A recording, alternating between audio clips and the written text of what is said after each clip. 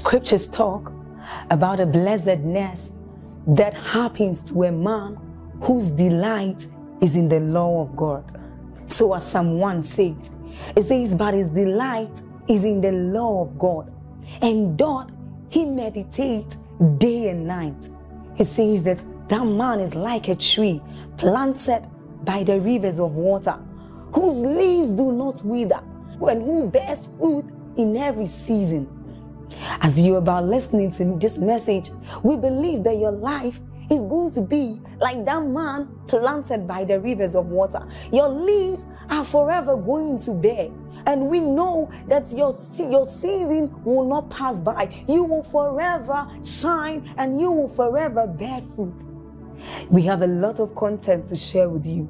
So we would entreat you to subscribe to this channel as well as like us hit that notification bell to receive more updates from us because we know that whatever content here is going to set you on course at every time. It's going to make you attain whatever stature that Christ wants you to attain. Thank you. Listen, if you do not have a victor's mentality, already you are defeated from January. You must make up your mind. How will a man go to tell God very accountable leader. He stands before God and says, there is a Red Sea. What should I tell them? And God does not say, tell them to examine the Red Sea. He says, tell them that they go forward. Prophesy to yourself, say, go forward. One more time, say it again, go forward. Let the realm of the spirit hear you prophesy, go forward. He didn't say go around Going around is not going forward. No. In fact, going around is proof of madness. When you see people, they call mad people wanderers. Where your steps have to be constructive and ever increasing to be called forward.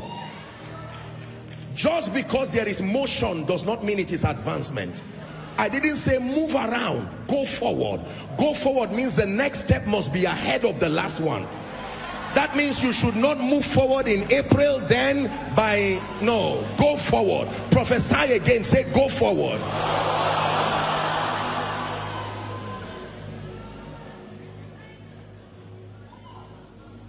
You must be determined to go forward. That means if this prophecy is true for you your least month should be January.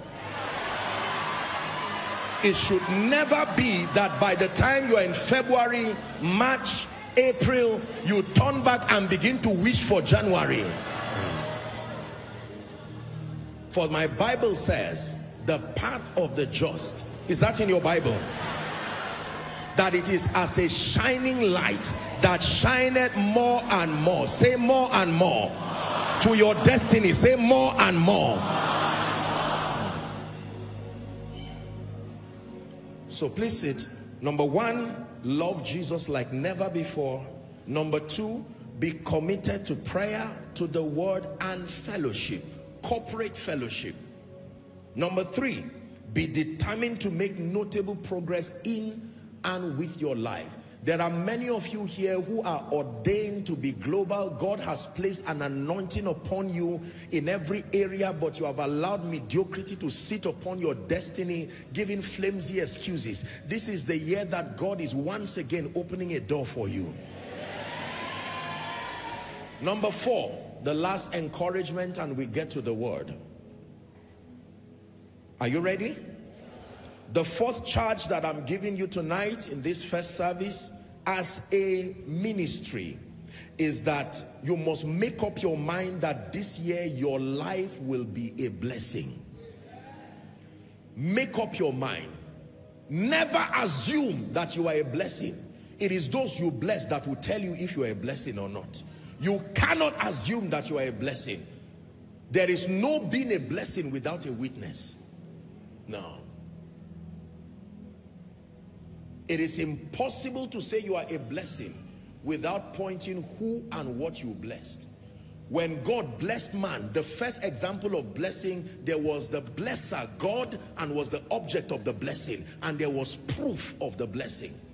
So it's impossible to say you are a blessing and yet not have people testify that indeed you are a blessing. Genesis chapter 12 and verse 3. I like that word. In thee, it says, shall all the families of the earth be blessed. In thee shall all the families of the earth be blessed. In thee shall all the families of the earth be blessed. This should not be the year where you sit down and wait in self-sympathy for people to keep blessing you. It is time for someone to thank God you are alive. There are many of you, nobody prays for you except they are asked to intercede corporately. Your life has not made any impact that deserves someone waking up to say, Lord, keep him for our sake. You must change that narrative today. Hallelujah. Pray for me, pray for me is a mediocre approach to life. You must be so valuable and so much of a blessing that someone will gladly leave sleep alone and rise up and intercede for you and say, Lord, for my sake, this is the reason why I eat bread in the morning. This person is such a blessing to me. This is the reason why my children go to school. Keep him alive for my sake. There was a woman who died in the Bible and the people refused. They said, no way. They came and showed the apostle, look what she has done. Testaments of her usefulness. You must make up your mind to be a blessing. Waiting for a preacher to be a blessing is failure already. Waiting to be rich, in quotes, to be a blessing is failure already because most people believe that the only thing you give men is money. That is a big mistake. I've taught you about inheritance. If you don't have money, transfer your mindset. That is a potent gift, greater than money. Hallelujah. The Bible says in Daniel chapter 12 and verse 3, it says, And they that be wise shall shine like the brightness of the firmament, and they that turn many, how many? Many to righteousness as the stars forever and ever. He called an idol worshiper called Abram from Ur of the Chaldeans. And then in Genesis chapter 12 from verse 1 and 2 down to 3, he said, come out of your country, your kindred, your father's house, unto a land that I will show you. And if you walk in keeping with my dictates, here are blessings that I'm keeping for you, that I will make you a great nation. Now he's speaking to a man without a child. I hope you understand that. I will bless thee. Please keep that scripture. I will make your name great. We have a teaching on this already, but let me just give you a little teaser. If you, you may want to refer to my message, Redefining Inheritance. I teach there on five things that the Bible calls inheritance. One of it is a good name. The Bible says a good name is to be desired more than money. You are great, but if your name is not great, there is no succession. The possibility of succession is that you invest your goodness in your name so that when you are not there, people can still use your name. That's why Jesus gave us his name, not just his life. We have his life, but he still gave us his name. There are many people who are great, but their names are not great. This is an encouragement probably to a parent already. Don't die with greatness. Leave a great name. Names don't die. I told you at the end of your life, your name can be a padlock or a key. It can lock people's destinies or it can be the reason why destinies are open. You are the one that we praise. You are the one we adore. You give the healing and our hearts always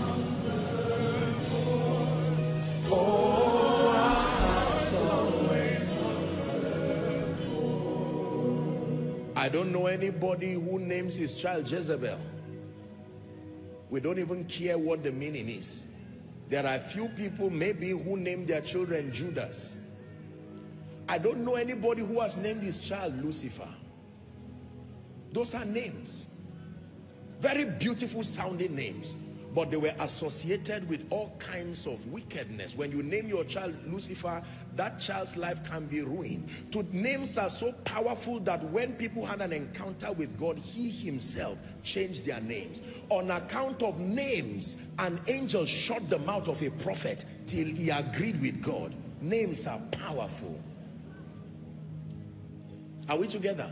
Your name is a capture of your reputation, your credibility that when people say the name of Jesus, something happens in the realm of the spirit because all authority were invested in that name. Is someone learning? So make up your mind this year that you will be a blessing. That someone who was not going to get a job after all, just because he adventure mentions your name. They say, what did he say? This pastor, you know him, you're related to him. I wouldn't have given you the job. Is there any man in the house of Saul that I may show kindness for Jonathan's sake? What will Mephibosheth be doing at the table? But for Jonathan's sake. In the name of Jesus, may your name open doors for people. I say to you prophetically, this is the year that God is investing grace even upon your name. As a parent, as a leader, your name also means the name of your organization. Your name also means the name of your business. Everything that has wrapped shame and reproach around your name to not allow dignity and honor to follow the speakings of your name. Let it be rolled like a curtain in the name of Jesus. Please sit down. Let's just pray in one minute over these admonishments, obtain grace from God, and then we get to the word. Go ahead and pray someone. Father, I obtain grace to love Jesus like never before. This is your first word of encouragement to us as a global family. Please pray, I obtain grace. I obtain grace to be committed to a life of prayer, a life of the word, and a life of corporate fellowship corporate fellowship. Someone is praying. I make a determination to make notable progress in and with my life. In and with my life. Someone is praying. In and with my life. And I make a commitment that this year 2023 my life will be a blessing a blessing to nations that people will glorify God in me.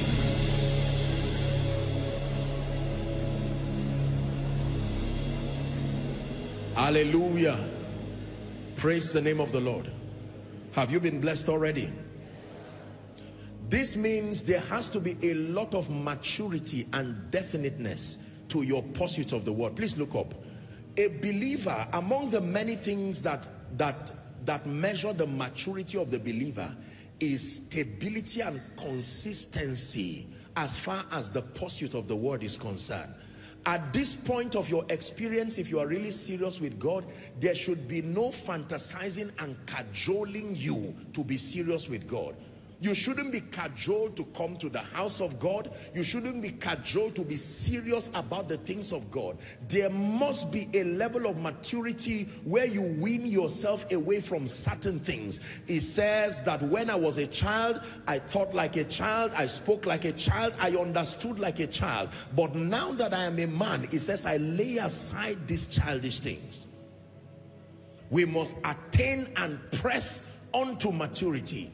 For the Bible says, Galatians chapter 4, it says, an heir. For as long as he is a child, it says that he differeth nothing from a servant, even though he be Lord of all. Hallelujah. Your coming to the house of God should not be something you are reminded about again. It should say, I was glad when they said unto me, let us go to the house of the Lord. Hallelujah. And for people who come to the house of the Lord and they're very casual, careless, just sitting around, looking around and not paying attention Remember the man at Gates Beautiful? When the apostle said, look on us, the Bible says he looked at them expecting to receive. You can look expecting to receive. It says they look unto him and their faces were lightened. When you look unto him, for sure you will receive. Hallelujah. So welcome. As for me, I have made up my mind afresh again that in the name of Jesus, everyone that God has trusted to me by reason of leadership and this ministry will continue to rise and grow until the least among us becomes as great as David. And that only happens by the word. God is not a herbalist. He's not a magician. There, there, are, there is no other way for attaining unto maturity in the spirit outside of the ministry of the word, the ministry of prayer, the ministry of fellowship, the ministry of the spirit. Anything outside of these will only lead you to superstition and deception. These are patterns. If you want to see the glory of the Lord revealed in your life, these are the things you must do. Leviticus chapter 9 and verse 6. This is what the Lord commanded Moses. He said that the Lord commanded that ye should do and the glory of the Lord shall appear unto you. The glory appears unto the doer, not the one who is watching. This is the thing that the Lord commands that you do. Are we blessed? Now pay attention. The word for this year now, the first service, every first koinonia service is dedicated to expanding the prophetic word. Every year God gives us words to guide us according to times and seasons.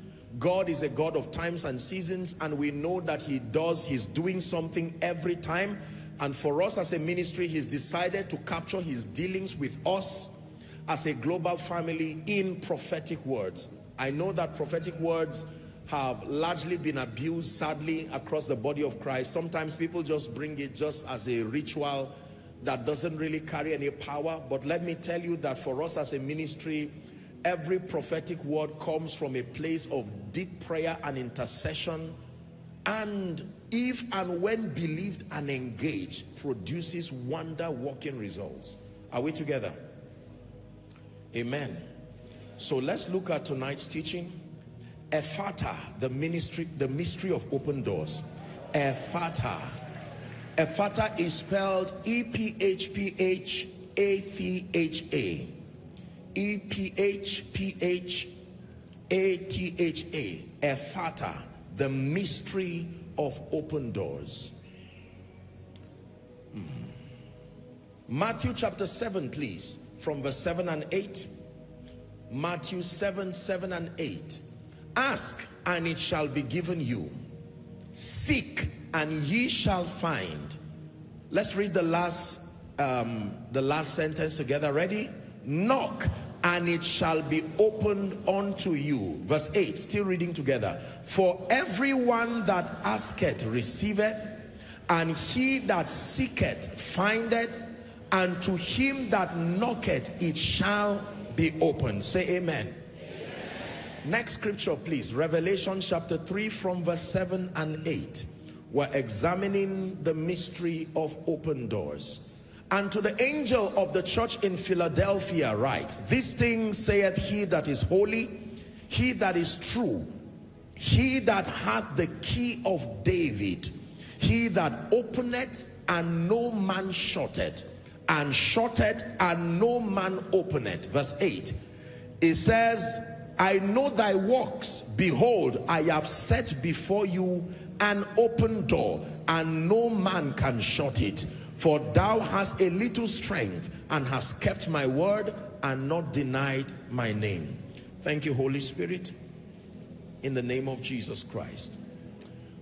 So the Lord gave us a prophetic word this year and he said to us, it is the year of open doors and um, every word from God demands that it must be believed demands that it must be received and demands that it must be engaged for any potent result to come out. Let me repeat myself again. Every word that comes from the Lord to the believer demands that number one, it must be believed. Number two, it must be received. Number three, it must be engaged. It must be believed. Luke 145. Blessed is she that believe for unto her there shall be a performance of those things that were told her from the Lord. It must be received. Mark 11, 24. What things soever ye desire when ye pray. Mark 11, 24.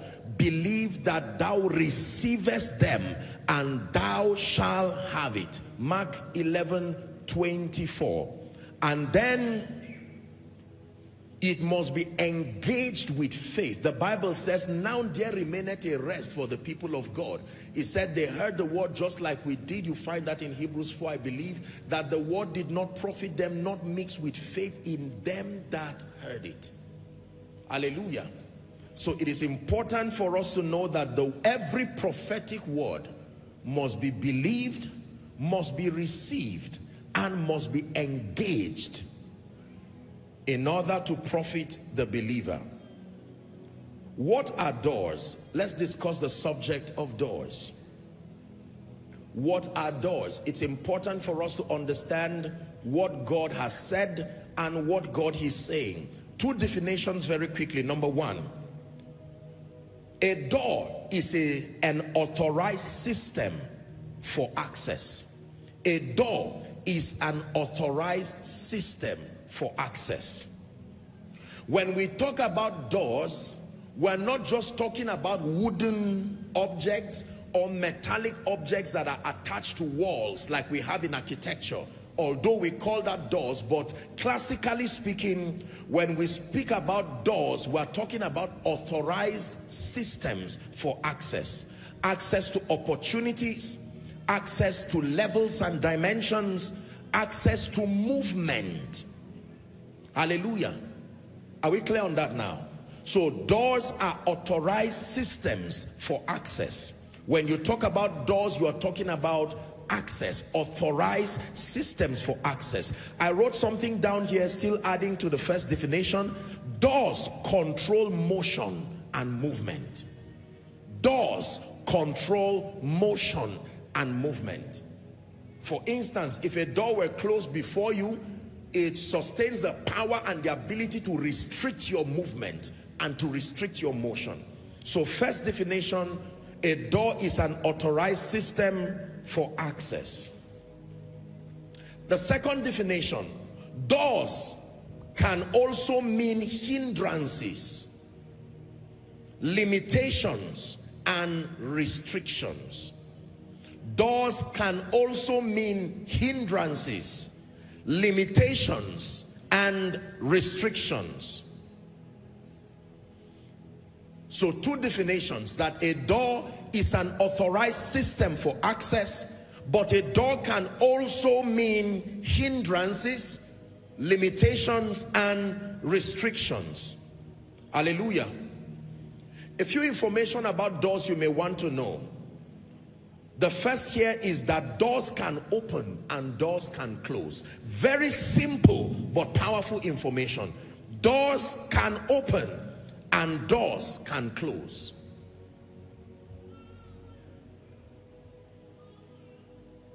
Depending on what is engaged, a door can be open and a door can close. A door that was once open can be closed and a door that was once closed can be opened. There are many instances in scripture where doors were opened and doors were closed. Classically speaking in the Bible, you, when you read in Genesis 7, Genesis 8, the flood, in the days of Noah, the Bible tells us that when it was time for the rain to come, God himself closed that door. Is that true?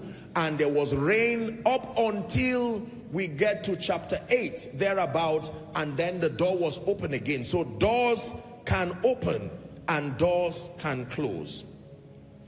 The second thing I want you to learn about doors is that doors can be circumstances and doors can be human entities and doors can be spirits. Doors can be circumstances. Doors can be human entities. Doors can be spirits. Is someone learning? Doors can be circumstances and situations you may want to add. Doors can be human entities and doors can be spirits. For instance, I think it was John chapter 10 and verse 7. Jesus himself said, I am the door. He didn't say he has access to the door. Jesus called himself the door. John 10, 7. Help us media. Then Jesus said unto them, Verily, verily, I say unto you, I am the door of the sheep. Jesus calls himself the door. Hallelujah. Now, the third information I want you to learn very quickly about doors is that all doors are closed by default. Hmm. All doors are closed by default. Listen carefully. All doors, it does not matter what treasure is in them. All doors are closed by default. Hmm. Whether as humans, whether as products, all doors are closed by default. Let's talk about closed doors. Closed doors.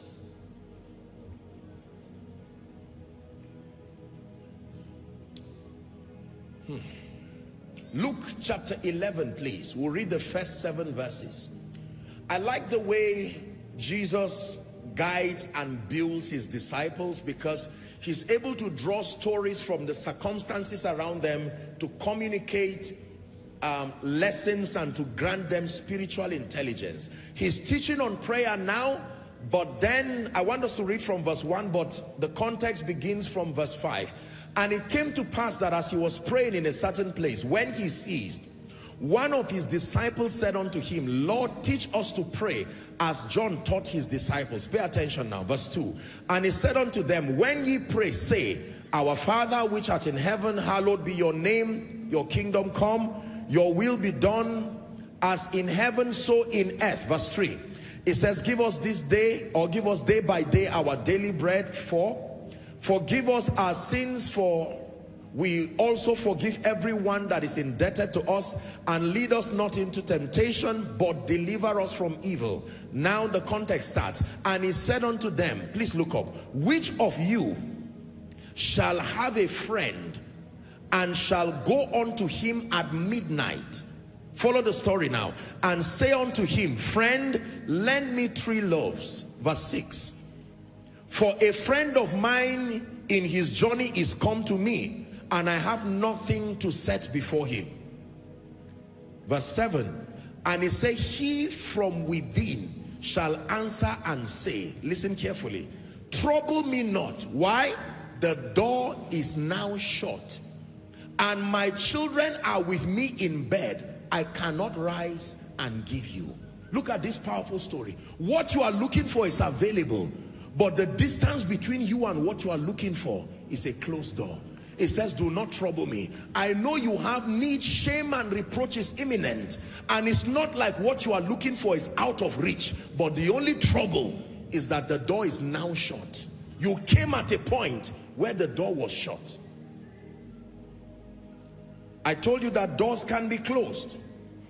Let's look at a few things about closed doors. Let me add one more scripture. Matthew 25 from verse 8 to 10.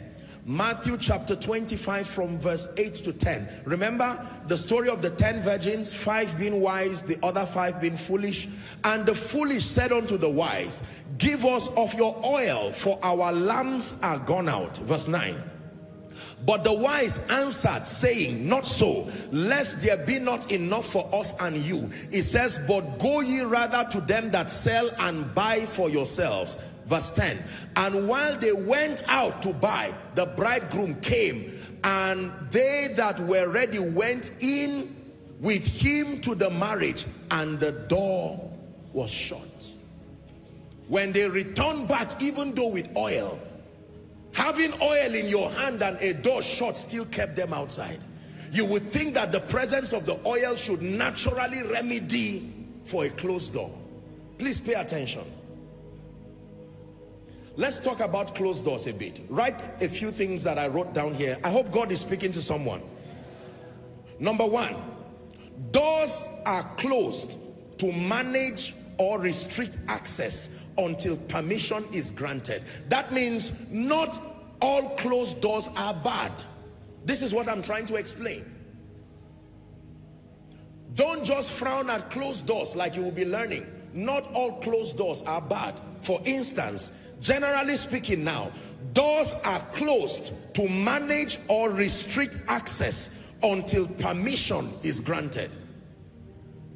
We have a lot of working people here, a lot of business owners, entrepreneurs, and people in government, and generally, doors are closed so that access can be managed and restricted until permission is granted. You don't enter an office or a house or a door and just walk in. Even in heaven where there is no evil, there are doors. Because doors manage and restrict access. Are we together? These are the positive side to close doors. Doors manage or restrict access. Because if access is not managed, like my dearly beloved mentor would say, abuse will always be inevitable. So there has to be a system of restriction to access and doors provide that opportunity. Number two, closed or sealed doors increase the value of a product. Closed or sealed doors increase the value of a product. Is that true?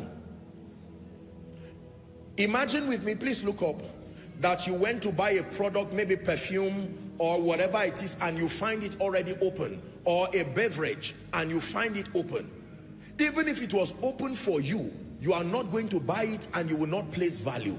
The value that you place on that product is because you meet it closed and sealed. Is that true? Yeah. In fact, there are products that you will see disclaimers written there that if at, at the point of purchase, you find this product open, it says to discard or return back. Is that true? So, closed doors are not all negative. They increase the value of a product.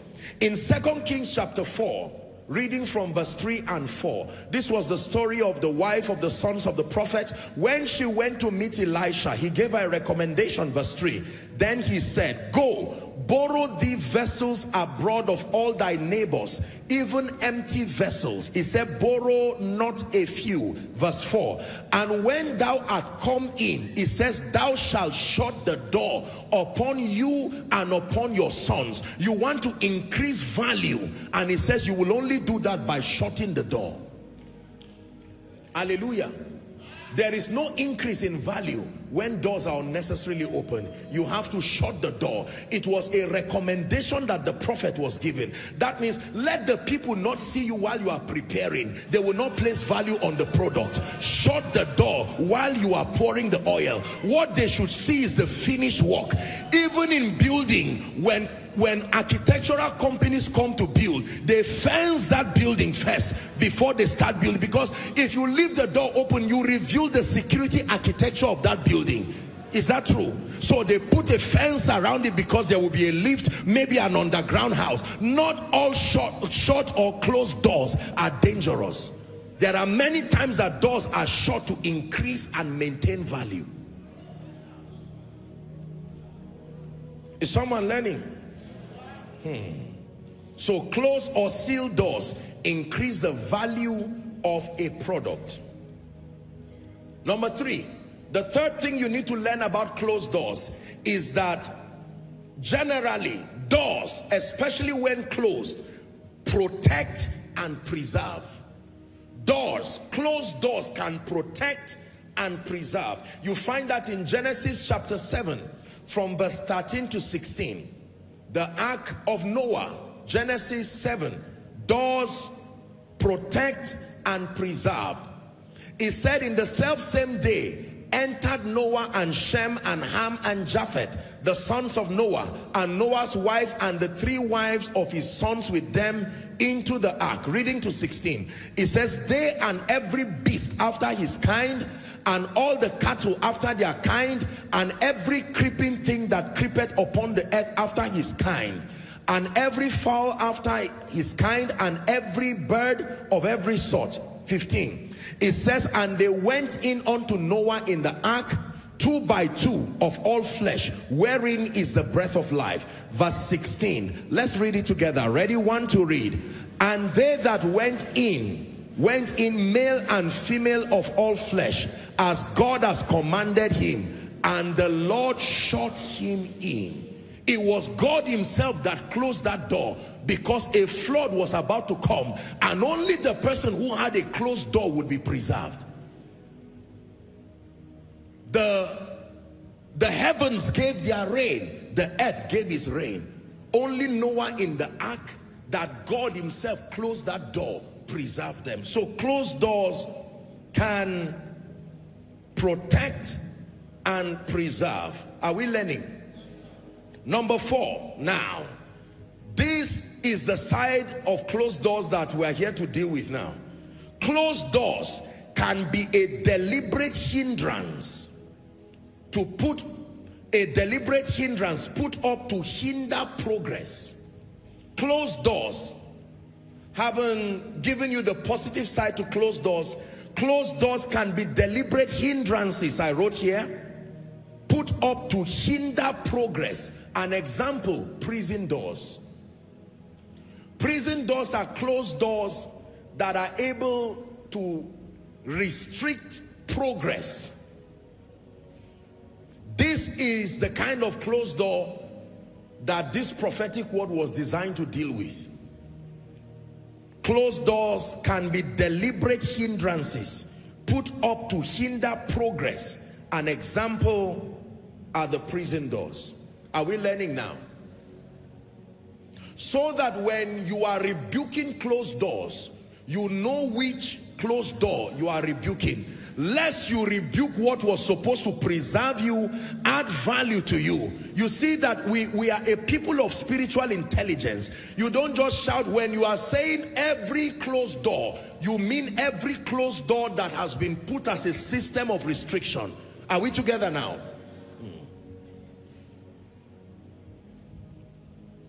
because closed doors can manage or restrict access they can increase the value of a product they can protect and they can preserve but then they can be a deliberate hindrance put up to hinder progress now let's look at how to open closed doors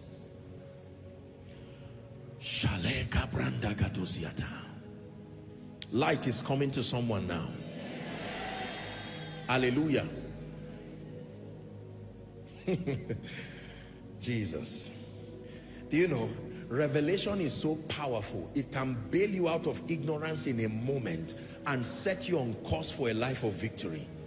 While I was preparing this note, I had to just stop, rest my head and shout and say, God, God, God, this God. Number one, how to open closed doors. Are you ready? The first key or the first um, mystery that is given to us from scripture as far as opening closed doors is concerned is the use of the right keys. The first way we open closed doors is by using the right key or the right keys. Closed doors are opened by using the right keys. Please underline right keys. A wrong key does not open a closed door, even though it is a key. Hallelujah. There are many of us, who, every house, I presume, has multiple doors. And sometimes every one of those doors would have a unique key. Is that true? the key that may open the main door may not open the kitchen door. So you can have a key, a correct key meant for another door. If it is the kitchen that you want to open, you must use the key that is meant for the kitchen. I think there has been a mix-up of this, especially in the body of Christ, and you've heard me say it again and again. There is a mix of different keys, believing that because they are divine keys, they will open every door. An example, using prayer and fasting alone as the ultimate key to prosperity and the manifestation of prosperity. It doesn't work that way. No. Prayer and fasting in addition to other things is what will guarantee the manifestation of the blessing of the Lord upon an individual. Prayer and fasting on its own does not take ignorance. Or an example is Bible study without the ministry of the Holy Spirit, it will only end you to become a religious person with nothing potent to produce result. Or submitting to the ministry of the word and ignoring the ministry of prayer and fasting. No. Jesus himself, I've clarified this many times in this house. He calls himself the word and yet his life was invested in prayer. Even as he's seated at the throne of heaven now, he's not quoting scriptures, he's making intercession. That is the value he has for prayer, even though being the word. Are we together? So the first way we open closed doors in this kingdom is the use of the right keys. Revelation chapter 3 and verse 7, please. Revelations 3 7 and to the angel of the church in Philadelphia we read that earlier but let's just read again for emphasis. This thing saith he that is holy he that is true he that hath the key of David. There's a separate teaching coming on that so I'm not going to talk so much about that. The Bible says by that key he can open and no man can shut and he can shut and no man can open. It takes more than desire for doors to be open it takes the right key. Someone say the right key. Luke 11 52 luke chapter 11 please and verse 52 woe unto you lawyers. Jesus is speaking. For ye have taken away the key of knowledge. So keys there refer to a body of truth a body of knowledge. It says ye entered not in yourself through that knowledge and them that were entering you have hindered. So he was rebuking the scribes and the pharisees the doctors of the law at that time and he was telling them listen you have you have taken away the key of knowledge access to knowledge. That means that knowledge is supposed to usher you into realms to open doors for you. You didn't enter yourself and you have restricted those who desire to enter. The right key in the name of Jesus, my prayer for someone this year is that God will grant you grace to find the right key. Please shout a believing amen. That God will grant you grace to find the right key. Many of you have been holding keys, but could it be that the key you have been holding is not for the door you are looking for? And I will give you the keys of the kingdom. The keys of the kingdom in most large houses they put all their keys together or at least maybe one one each of the keys and they put it together in a bunch and keep it somewhere safe. Is that true? Yes. So that you can have it within your reach. If it's the main door you are opening you have it there. If it's the kitchen door the bathroom door you have it there. For most of us you have been given these keys but because of carelessness you scattered your keys like the bones in Ezekiel's valley and you cannot construct it together to become something exceedingly great. This is the year God is granting you grace to gather them together. Hallelujah. The first way we open closed doors is through the use of the right keys. This talks of knowledge this talks of understanding this talks of faith. You need knowledge and you need understanding it is my prayer and my determination this year to bring light like never before. Truth upon truth, line upon line, precept upon precept, here a little, there a little, to the end that God will grant us grace that with light we will be able to rise. The Bible says that we are able to show the praises of him that has called us from darkness into his light. Hallelujah. Number two, how do we open closed doors? Are you ready? The second way, according to scripture, that closed doors are opened is by knocking. By knocking. Knocking here means obtaining help from men through mercy and favor. Don't forget this. The second way that closed doors are open is by knocking. Every time you knock a door, it is because you do not have the power to open it yourself. If you have a key, you do not need anybody helping you. Are we together now? Once you have a key, you do not need anybody helping you.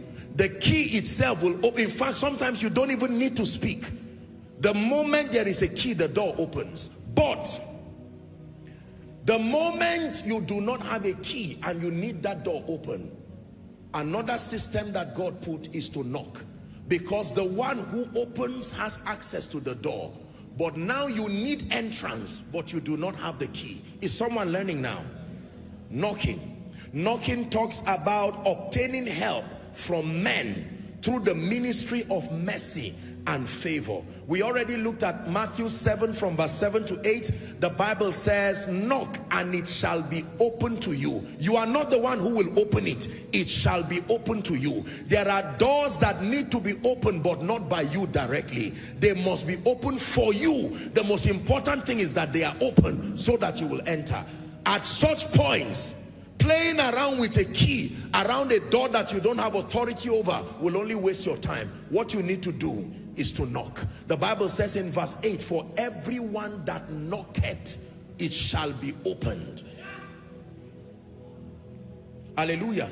This is where the ministry of mercy and favor comes.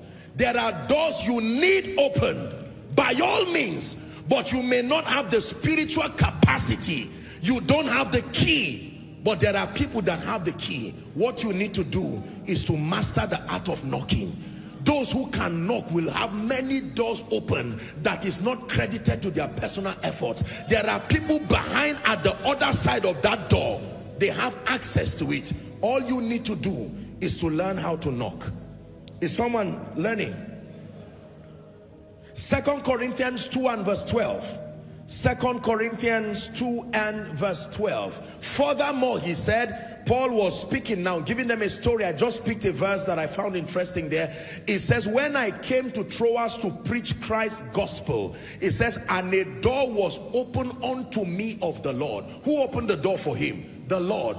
The door was open but he never mentions using a key to open that door. He says it was open unto me. In fact, one last scripture, Revelations 3 and verse 20. Very popular scripture, Revelations 3, 20.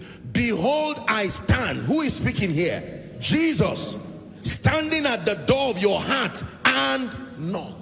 Because even though he's the creator of the ends of the earth, when he created man, he made you a free moral agent that even though he's God, it becomes scripturally incorrect for him to barge into your life. And he's patient enough. If God knocks, you must learn how to knock. There are certain doors that you will need to hide your pride and knock this year. There are doors of grace, doors of power, because it is only those who knock that will have that door open. Is someone learning? Not every door, every door may respond to keys, but you may not have the privilege of access to every key. Yet you need every door that should be open, open. So you must know how to knock. To knock requires patience. To knock requires persistence. Is someone learning now? Let's go to Luke 11 and finish up the scripture that we started now. God is giving someone wisdom already. Matthew chapter, I mean Luke chapter 11 from verse 7. Now, remember our story? Where the guy began to knock and say, please help me with three loaf of bread. I want to give my friend. And the man said, trouble me not. The door is now shut and my children are with me in bed. Are you seeing that that door was positively closed for the man and his children? But with respect to the one who needs help, that door needs to be opened.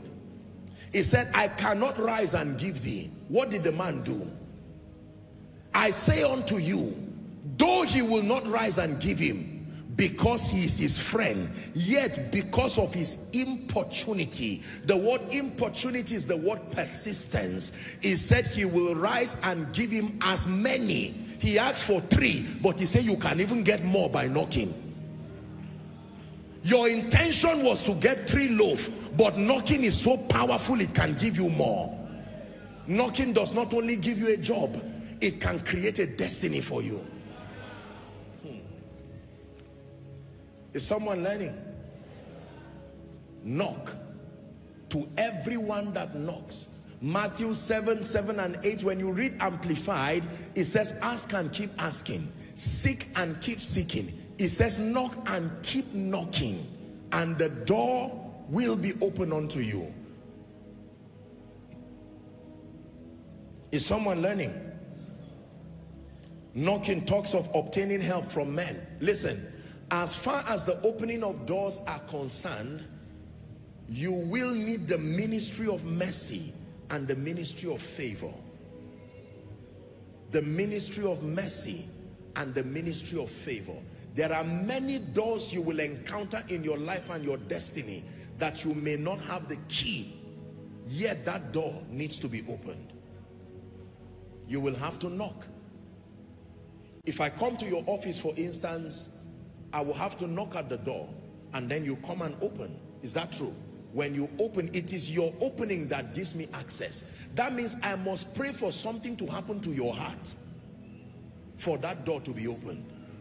The friend here said, I know you are my friend, but I'm sorry. Right now, I'm in bed with my children. My apologies, go away. And the man kept May God put it in the heart of someone this year to rise up and see to it that every closed door is open over your life. In the name of Jesus Christ. You heard some of the testimonies here. Let me tell you, I have taught you and I will keep teaching you till it enters your spirit that all blessings come from God through men to men. To men. Believe me, men can be used by God to open doors doors, very strange doors of opportunity. May that be your testimony. Are you ready for number three? How do we open closed doors? The third is by supernatural power. The third way doors are open is by the ministry of warfare and power. The supernatural power of God because there are doors, especially demonic doors, that will not open except and unless force is engaged. Acts chapter 6 from verse 25. Acts chapter 6 and verse 25. Give it to us, please. Acts 6 25.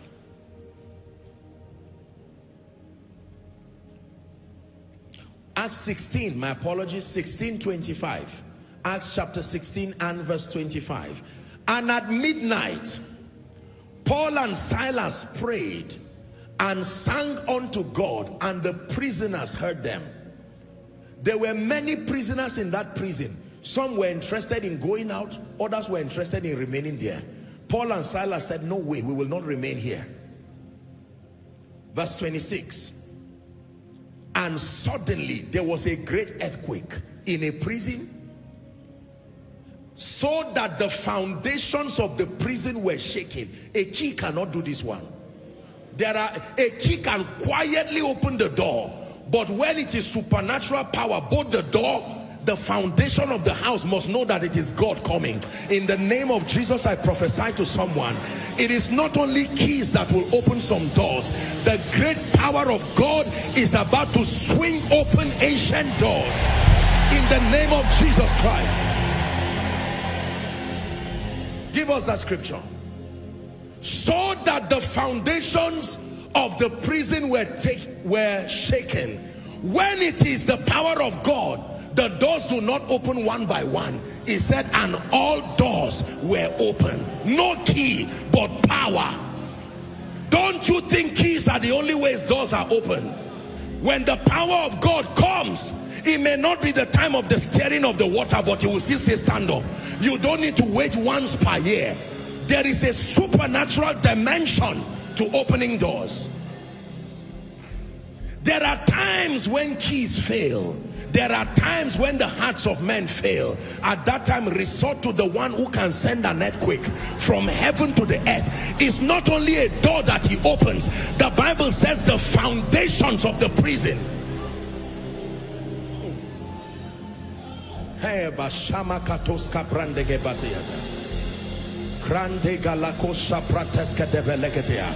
And immediately when it is God, it does not take time. Immediately, immediately, not later, not next week, not next month. Immediately. Hold on, please. Please, ladies and gentlemen, think about this. I watch this. Sometimes, in my own boring way, my apologies, I just, you know, sometimes I'm watching videos. I like to watch videos of demolitions of houses large structures and then sometimes these these you know the the the machines that squeeze metals and just break them and i i have never been i get so amazed that a car will be put in that machine and in less than one minute it will squeeze it like a rag. I have seen many of you here construction engineers and you know that it can take three years, five years, 10 years, 30 years to build a skyscraper. And in a moment, using explosives, you watch it come down. Everybody watch 9-11. In a moment, it came down. When it is God, he has no time to come key by key. The entire foundation must go down. My deliverer is coming. My deliverer is standing by. Your deliverer is coming. Your deliverer is standing by. We have seen what happens when doors are open. A key can only open one door at a time. Listen, if there are 10 doors, you will have to go and open one. There are doors that you have to turn them three times.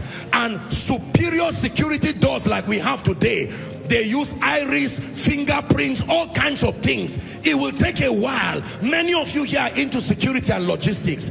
You don't if, if you are if you are you go to the bulk room of a bank for instance you're not going to turn a key two times for it to be open. No.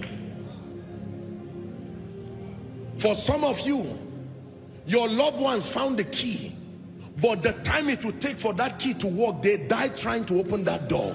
It was a right key, but all the things to engage with respect to time. Notice the character of the power of God. They prayed and they sang. God never called the jailer. God never asked the strength of the foundation. Who designed it? That is none of his business. They prayed and they sang and God said clear the way. In listen, listen, in Acts chapter 12 you see when Peter was bound hand and feet it was an angel that was sent. There was no earthquake. Prayers was made without ceasing and an angel came. He opened the doors and they went out. But when God came, Who can stand against the Lord? No one can. No one will. Who can stand? Who can stand against our King? No one can. And no one will. Hear me. Let me speak to someone. This year your family is about to experience something those who have been bound I'm speaking prophetically age-long captivities that have tied people down in the name of Jesus. The mighty warrior the terrible one will arise as a warrior that he is and the foundations of many families will be rattled. Everything that has not been planted by God must give way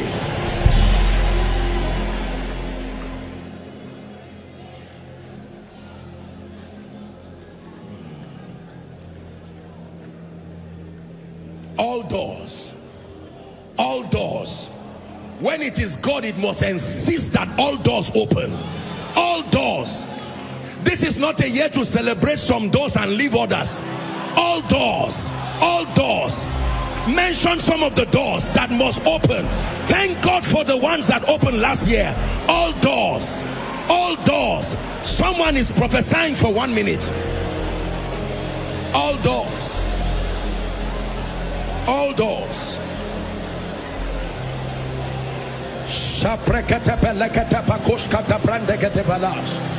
all doors by the spirit of the living God.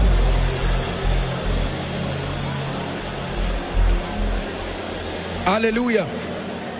Hallelujah. A, a, scripture just came to my spirit. I believe that should be Judges 16 and verse 3 Samson. Although it was not a very nice story unfortunately but the Bible says Samson removed the door of the gate. Look for it for us. Yes at he says he laid at midnight. The Philistines were gathering round. He said I will not only you want to fight me? I will show you the one who has strengthened me. I will not only open the, I will remove the door. The Bible says he removed the doors of the gate of the city and climbed a hill and kept it and sat there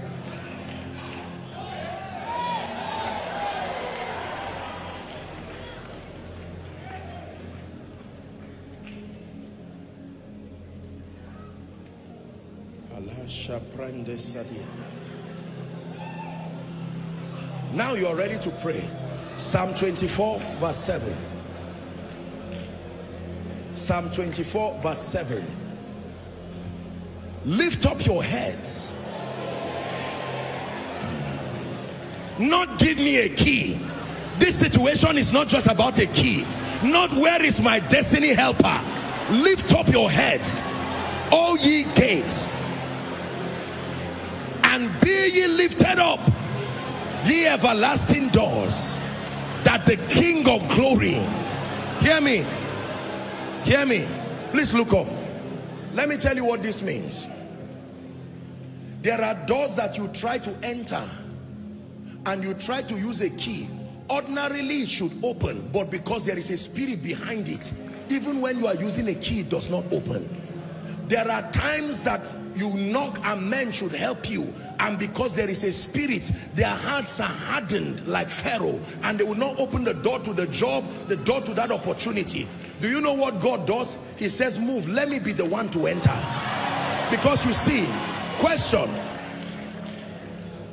When God comes as a savior he knocks. But when he comes as a warrior he breaks. Understand this there is Jesus the Savior who will knock at the door of your heart gently. But when he stands before obstacles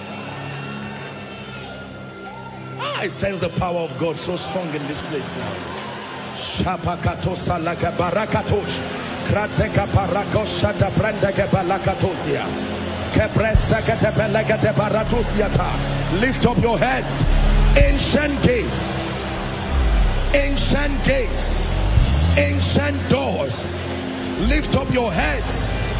Ancient doors. The king of glory. The king of glory. The king of glory.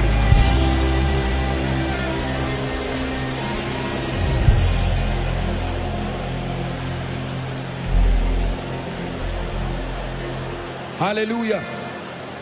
Listen we're about to pray. Pay attention now. Please look up so I have taught you that there are three biblical ways to open closed doors. Never forget this for the rest of your life. Number one is by the application of kingdom principles, keys. Many doors will already be opened by the application of keys.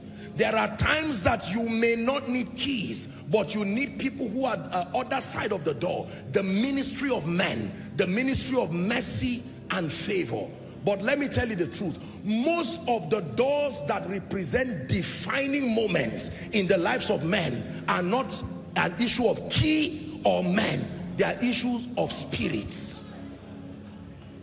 Spirits. Nobody has ever risen from this family like that. Let, let, let us be the protectors of this covenant that anybody that must rise from this family must serve this idol. And if you now come and say you will serve the living God that ah in the name of Jesus may the mighty warrior arise. Arise arise in power. Arise arise in grace. Arise arise in glory. Hallelujah. Now please show me the design of the prophetic word. Can you display the design, the cover design? You will tell me of these three, which one has opened the door that you are about to see. Then I will share with you the vision that led to this prophetic word and we'll pray. Can you find the design? Just the cover design for this. If you can find it, put it for us, please. I was praying and preparing as I would always do to receive a prophetic word. Please pay attention now. And I was caught up in the spirit and I had a vision. And in this vision, I had like, a, you know, a door, giant door. And then I saw these ancient keys. Um, one time in London, I was given, a few people gave me a, a key just to represent the mysteries of the kingdom. So they gave me as a gift you know, these Europeans value a lot of these things. We don't value them in Nigeria. Once it doesn't bring money directly, we don't care. But they gave me this bunch of very old keys. I think they used maybe for castles or something.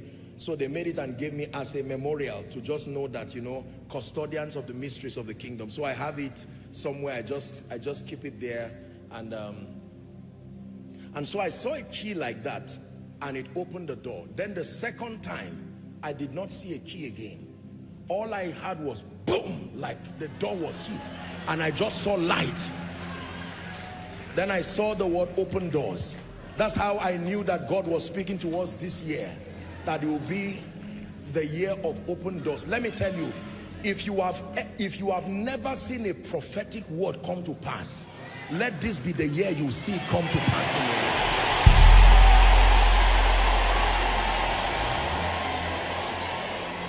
Hallelujah. When I called our people to design for the prophetic word, I insisted that certain things be captured in that design to reflect the vision that I saw. The key word for these open doors is all doors open. Not just open doors, all doors, all doors, all doors.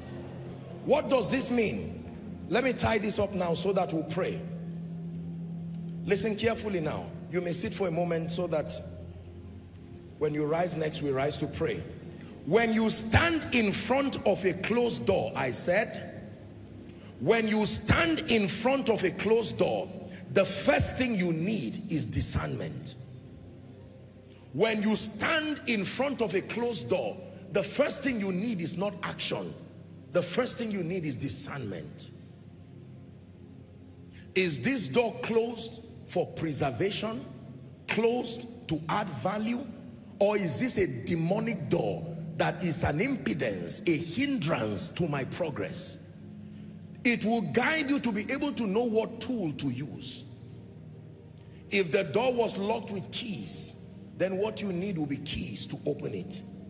If there are men at the other side of the door, then you will need to master the art of knocking. But if there are spirit entities and covenants that have stood at the back of that door, you see, if you open a door with a key, it can be closed again. But when a door is broken, your children and your children's children can pass. There are many people, listen, if in a family of 20 or 30 people, one person maneuvers his way and forces that door to open and it closes behind him, you did not do much. He said, as for me and my house, the blessing will always be for you and your house. Hallelujah. As for me and my house, please help those under the anointing. As for me and my house.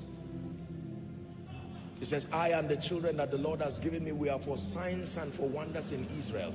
It is not just one person, I and everybody. When I was praying in the, my pre preparing, receiving this prophetic word for my own life, I prayed for every one of you in the spirit. You see, can you see two doors open? And you can see the Holy Spirit as a sign of the supernatural power of God. Are you seeing that it was so open that it's not only one person that passed? I'm not an artist, but I, I know when you see some things, you force it to be reflected there. It is not only one person. Question, when that demonic door called the Red Sea opened, how many people passed? Talk to me, please. How many people passed? There was not one covenant person who was left. The way the Red Sea opened should tell you it was a door, not a river. Rivers move, but this one opened hither and thither on dry ground. The Red Sea was a mystery in the spirit. That was why Pharaoh had confidence that these guys cannot pass. Remember the Nile is, Egypt is a place of wizardry. They had covenants with serpents. They had covenants with the elements of creation. Moses knew that no kind of architecture will move the water to where now? It was a Red Sea for a reason. But God said, no, that means there are many things you will see that look like doors. But if God helps you to look, you will find out they are not really doors. They are just spirits masquerading as doors. Opened it hither and thither. When God opens a door, it is enough for everybody. Everybody in the prison was not praying everybody in the prison was not singing but when God came even those who provided they were in the vicinity that means there are some of your family members they may not even be born again. But when my God I don't know about your own God but when my God arises and shows up this year there are doors that will open that your children's children will eat from as many as are far off in the name of Jesus Christ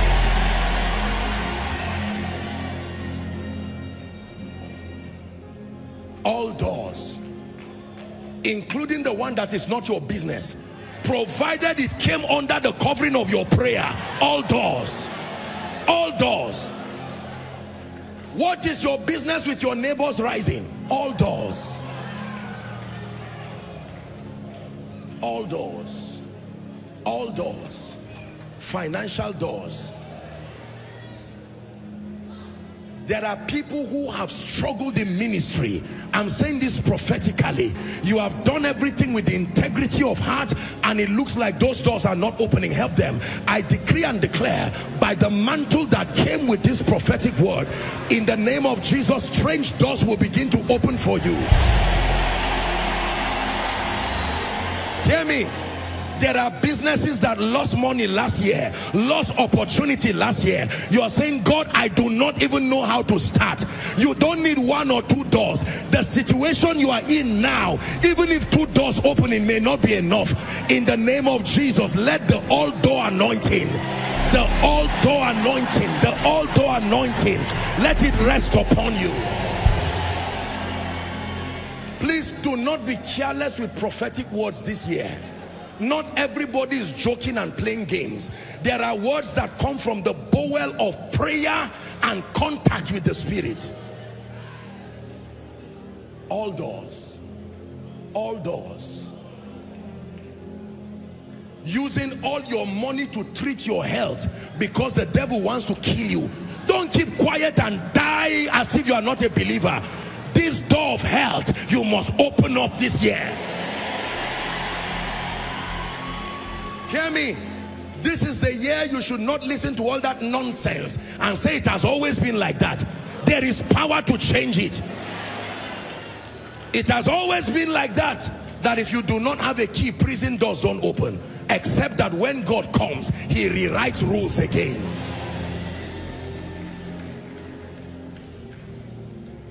Hallelujah. All doors. All doors this is what God has said and we believe. Now watch this. It means therefore that in this year 2023, God is going to be principally dealing with us across three areas. One, access to the keys of the kingdom. He's going to be teaching us to know how to access the keys of the kingdom. According to Matthew 13 and verse 11, it says it has been given unto you to know the kingdom, the mysteries of heaven. Ephesians chapter 1 from verse 16 to 19, Paul was praying over the church in Ephesus and he cried unto God that he said, I cease not to give thanks for you, making mention of you in my prayer, 17, that the God of our Lord Jesus Christ, the Father of glory, may give unto you the spirit of wisdom and revelation in the knowledge of him. Reading to 19, the eyes of your understanding being enlightened, it says, that ye may know what is the hope of his calling and the riches of the glory of the inheritance of the saints. Verse 19, it says, and what is the exceeding greatness of his power to us word who believe, to us word who believe, to us word who believe, according to the working of his mighty power. So all through this year, every koinonia service will be a feast of light. Revelation and mysteries coming to empower you by the Spirit. Number two, favor. This year, God is going to be granting us access to understand the mysteries of favor. Seeing then that knocking will require a man at the other side of the door to open it. Revelations 3 9, please. Revelations 3 9. You need to understand the mysteries that control favor. Never let anybody downplay the place of favor. 3 9, Revelations. Behold, it says, um, okay, give us verse 8. My apologies. 3 8. 3 8. I know thy works he said, behold, I have set before thee. So there are times that an open door can be set before you. Your assignment is to walk into it because you have received help. He said, having obtained help from the Lord, I continue unto this day. I have set before you an open door. No man, because it was not a man that opened it. A man cannot shut it. I have said before you. There are times that the door is closed. He gives you keys to open. But there are times he can set before you an open door by the help of God. Hallelujah. And then of course, number three, this year, God is going to be teaching our hands to war. Seeing then that there is a dimension of warfare and power. Give us Psalm 144 and verse 1. That God is able to teach our hands to war and even our fingers to fight. Blessed be the Lord my strength, which teacheth my hands to war and my fingers to fight. This charge I give unto you, my son Timothy, he says, that you war a good warfare with the prophecy there are words that are coming. You must gain mastery on how to war a good warfare in the spirit. Because there are doors that will never open except by engaging the power of God. Psalm 66 and verse 3. Say unto God, how terrible art thou in your ways. Through the greatness of thy power shall thy enemies submit themselves unto you. Can I tell you the truth?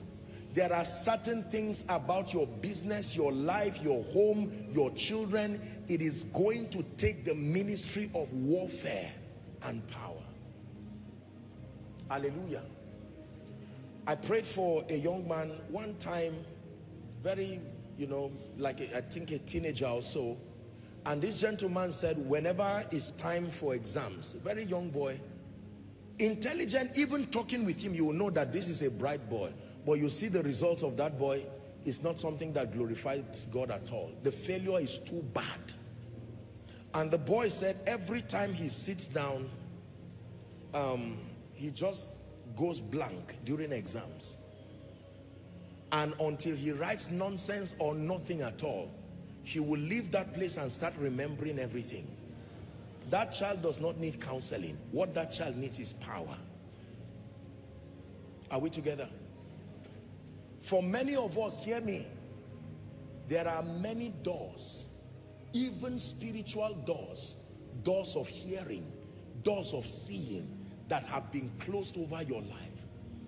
Channels of my spirit, open up. I am with the, the Father all the night. No boundaries, no limits, all. Let me call unto thee, all the night. The child of my spirit.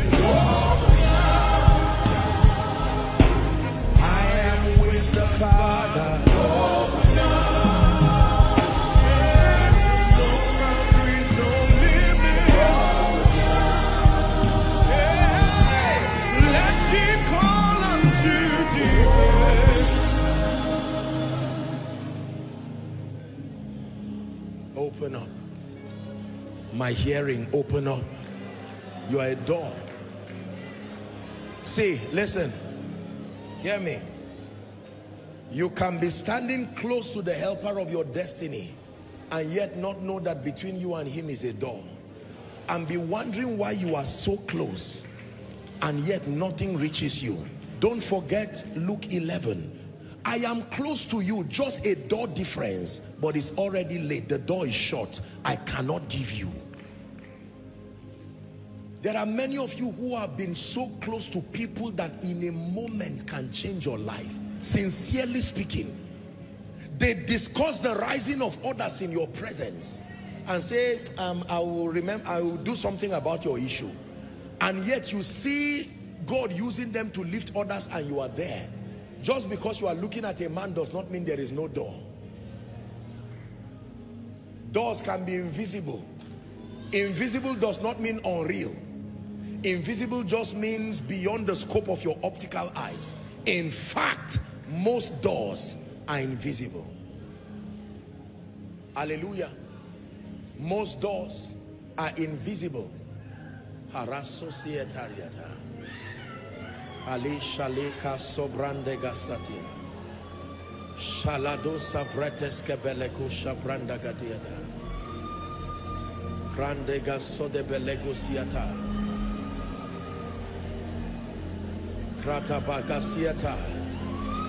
I'm just seeing what looks like a coffin and I'm seeing like a dead corpse coming back to life. This is what I'm seeing. There is an anointing that is bringing resurrection to many families. That many things that have been buried down.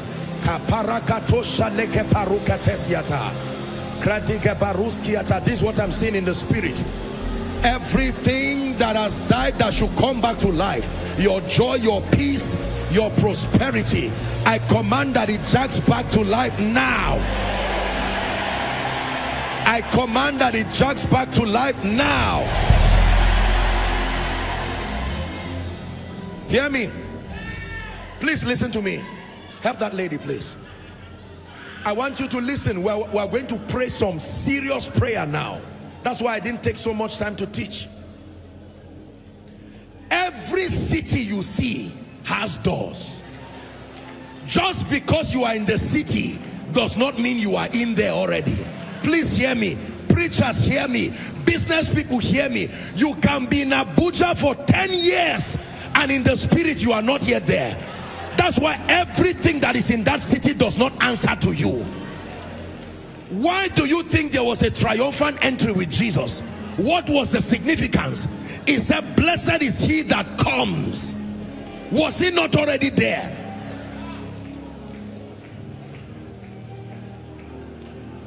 Many of you who have been around northern states, when you are entering a northern state, there are usually like gates. They are not closed, but you'll be mistaken to say they are not closed.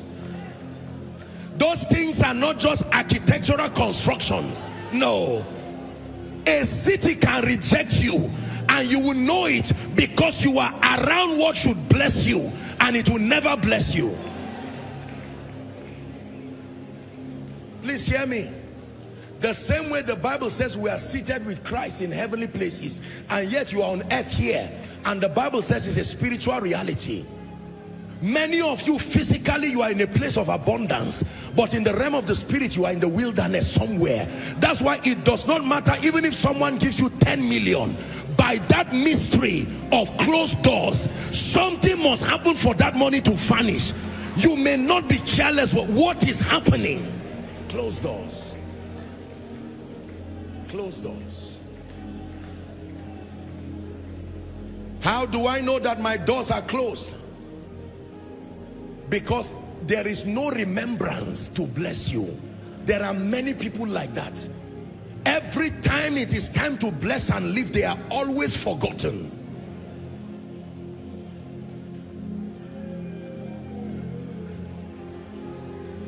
Elohim Adonai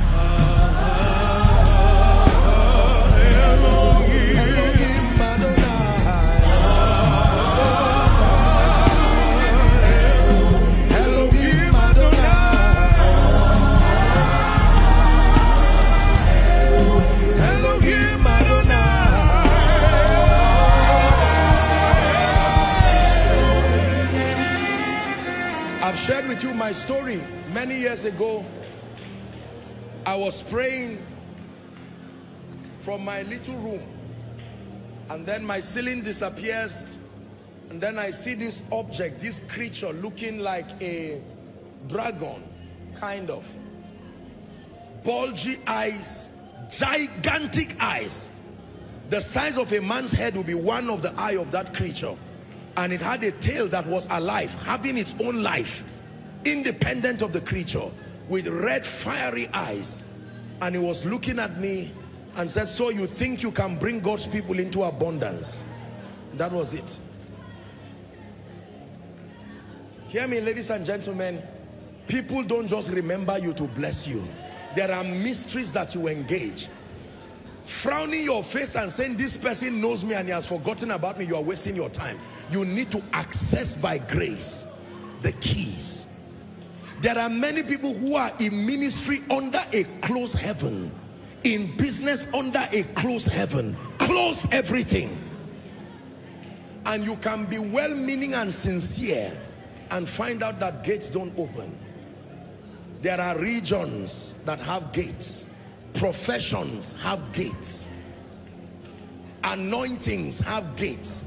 That's why a man can pray for you but you have not done what opened the gate or the door that leads to his anointing. You may even fall down and stand up. The truth is nothing will work. When it was time for Isaac to bless his sons he needed something that opens the gates of his anointing. He said go and make me venison. Not anyone such as my soul loves there are rules for that flow of power. The year of open doors. The year of open doors. Opportunities unhindered. Now hear me. I decided to just give a charge and not take time to teach. We have a whole year to do that because we're getting into a serious prayer session now and please do not let the devil fool you this prayer is what will activate and release these anointings hallelujah Please look up. Every day has a door. 12 noon or 12 midnight is not what opens a day. No, sir. No. Just because your clock tells you 11.59 p.m., then the next minute, you just say good morning. Physically, bah, but in the realm of the spirit, you will be surprised. Many people are still in next year, last year, last month, there is no forward movement. I wish what I were telling you were a lie. I would not come here and play games to such an intelligent people. Hmm. Hallelujah. It is not the passage of time that introduces next days. Remember, doors, midwife seasons, doors, midwife realms, doors, midwife faces and levels in life. You can be at the same level because a door that should open has not been opened. Hallelujah. Praise the name of the Lord. When it was time for Lazarus to come forth, Jesus said, roll the stone. That door that has sealed his resurrection. Because if the door does not open, his resurrection will be useless. Open it. And when they rolled the stone away, he said, Lazarus, now you come forth. And then he said, lose him and let him go. I know you have business ideas, but is the door open? Just because you bought a shop or a store or a mall does not mean you are in business. There are doors. Why do you think they call certain people and even spirits gatekeepers? What are they keeping? Before Jesus started his ministry, Satan took him to a mountain and said, listen, you know better than I do. Look at the glories of the world. That means the glories of the world were not controlled by what happened there. The spirit that was in the madman in Gadara was what controlled the economy of the Gadarenes. The moment something happened to that man, the business in Gadara died immediately. There are people who are rising, is not what they are selling there has been doors that were opened through covenants in the spirit. Hallelujah. Lift up your heads, O ye gates, and be ye lifted, O ye ancient doors. Listen to these stubborn gates and doors that the King of glory shall come in. Go to verse 8. It says, Who is this King of glory? So don't think the doors will just open because you said it is a prophetic word. Even for Jesus, they ask a question. Who do you think you are? Ah, but I love the answer. There is no discussion there. Go back to verse 8. The Lord strong, not the Lord weak. If it is the Lord strong, then it must be the believer strong. If it is the Lord mighty, then it must be the believer mighty. If the Lord is mighty even in battle, then the believer will be in battle too.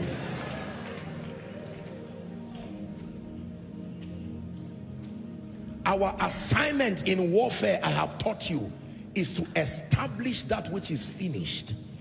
Our assignment in warfare is not to create a battle and fight with physical strength. Our warfare in this kingdom has to do with establishing that which is finished. And in the next few minutes, you are not going to be praying for someone else yet. This destiny, you are going to flog it out this first service. Amen, amen, amen, amen. Amen, amen, amen. Amen, amen, amen, amen. Amen. Amen,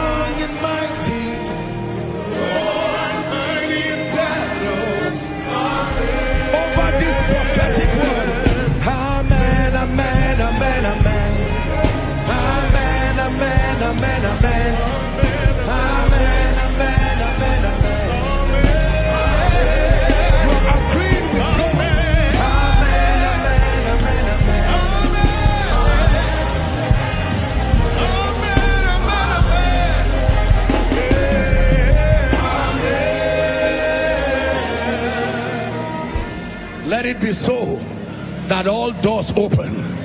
Let it be so that I rise to realms unhindered. Let it be so in the name of Jesus that every closed door opens. Hear me. How do you know that a door has opened? Restraint is lifted. How do you know that a door has opened? Movement is now secured. The hindrance is taken away. Restrictions in ministry, restrictions in your home, restrictions in your finances, restrictions even in your spirit walk. Can I tell you the truth? Hear me, ladies and gentlemen. Just because God has spoken, I told you, does not mean it will happen. My Bible is full of many things that God said that did not come to pass because those he said it to thought he was joking.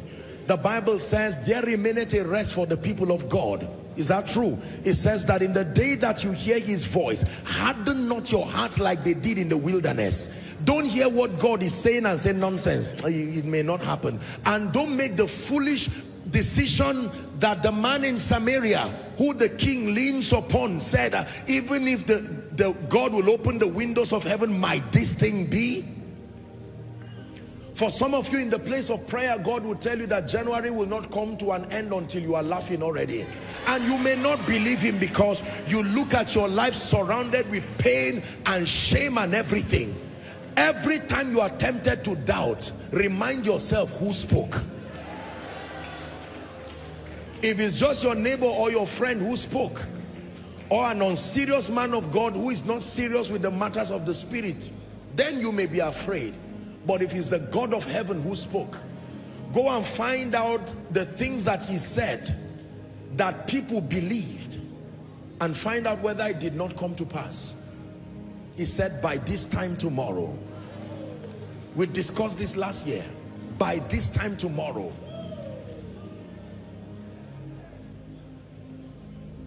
Hallelujah. We are going to engage prophecy in a few minutes. We are going to pray seriously. Do not let the devil distract you. It is in this prayer that your faith is released to be on course for the many great things. As a ministry we have so many things.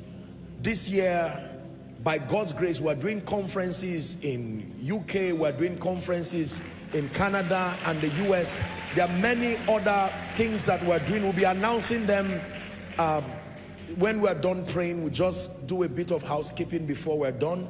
So those of you, I think we're starting with UK. Those of you in the United Kingdom, just prepare.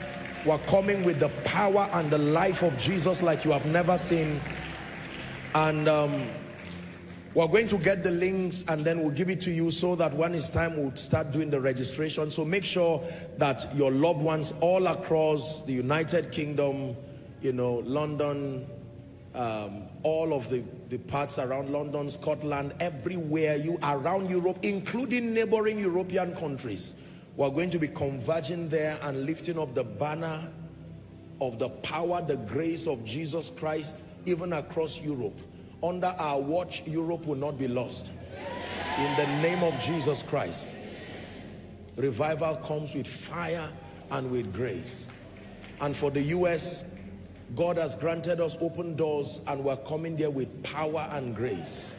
Power and grace to make our contributions as far as the prophetic manifestation of revival across the nations are concerned. And by the way, before we pray, I hope and trust that God will, I, I hope that God will grant me, um, I hope that, that I know that he's granted the grace and, and I'm saying this so that we all pray I trust God for grace to do a lot of African nations this year. There is such a burden God has planted. In fact, even sincerely, even more than Europe and the US and uh, several of these continents, there is such a hunger.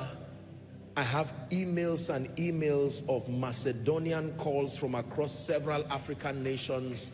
Um, I don't want to mention names, but I'm, I'm hoping that we'll be able to, for some of the nations We've already given them word if they can come together and structure something serious. The challenge sometimes with many nations is that there's a lot of disorganization and um, it may not be able to work that way. So this may be a teaser already for some nations and for a few of the nations um, who are being hosted by the governments of the nations graciously. And so we're more than glad to lead them to their national days of prayer and all of the similar activities there's a lot this year. We'll come up with that hopefully maybe during the miracle service next week. By the way, our first miracle service for next week, Sunday, and it is going to be, look, it's going to be open doors all the way.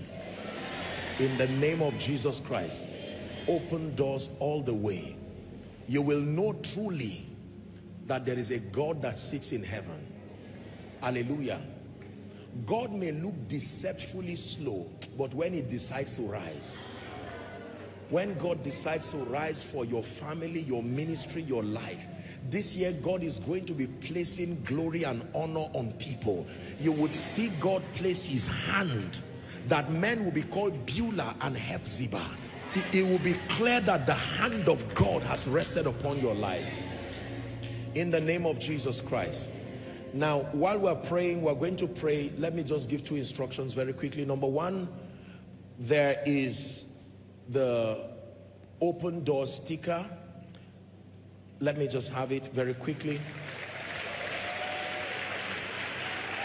Hallelujah. I just want to bless it now. We did a few things. We're not selling anything, and if everything is absolutely free. Hallelujah. Praise God. So this this is my seed to the global family, Koinonia Global. We made we made um, we made some exercise books like this to give, especially our children. We want our children to learn. No dull child will remain. You may come however you want, but provided you are here, in the name of Jesus, the mind of Christ must find expression. Our koinonia children are not non-entities. We are raising kings and queens in the name of Jesus. And please, it's important for every parent, speak this into your children all these negative demonic words, the era for them is over. Don't program rubbish into the destiny of your children. Hallelujah. So this is what uh, the, um, the jotters look like.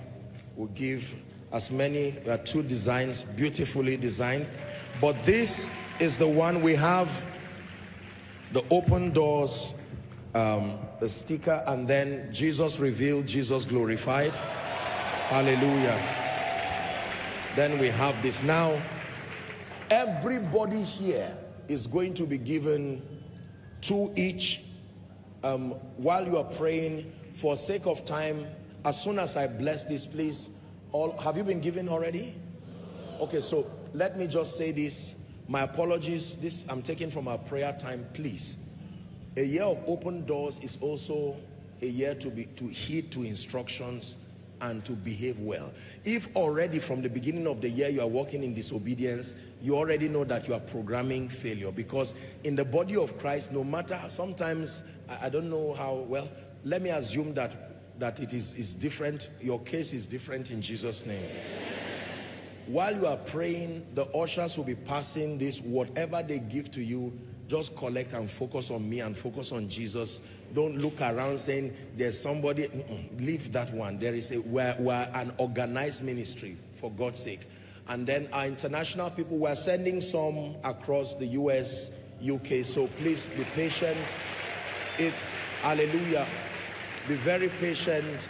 Those are international guests who are here. Some of them who uh, appoint people across certain nations will give a few copies Look, this is not about idolizing. People have idolized speakers, uh, stickers and all of that. Um, this does not carry any power on its own. This is just a system. We can bless it, of course, and it can carry the power of the Holy Spirit like I'm about to do. But you know more than this. It will be an insult to all you have learned to suddenly begin to idolize stickers and books and all of that. Now, that does not mean that you can not use it as a point of contact to, con to to connect by faith. But I'm saying this up front because sometimes in a bid to show honor, it turns to idolatry and the life and the power that should come from it is thrown away. You see, there are some of you, if you want to run out and you forget this, you run back and, no, please. No. I'm not, I'm not mocking, I'm not being sarcastic, but I'm just telling you that God has granted us access to superior spiritual intelligence this is for your edification and of course it is a prophetic standpoint, a, a prophetic um, medium. Handkerchiefs and aprons were brought to the body from the body of Peter and so you'll be surprised that this by faith will heal someone. But the point is whatever happens just know that this is revealing Jesus. And if it fails to reveal Jesus and the only person it reveals is Joshua Selman or Koinonia then we failed we are only tools. Jesus is the one who should be revealed and glorified. Are we together?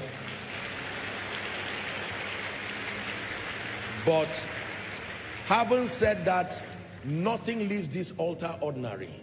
That I can tell you. You ask the devil after you receive this. You, you can be sure that in the name of Jesus, within the boundary of scripture, you can be sure that God will anoint you to work wonders. So can we pray together? Stretch your hands and let's just speak over this as a family of faith.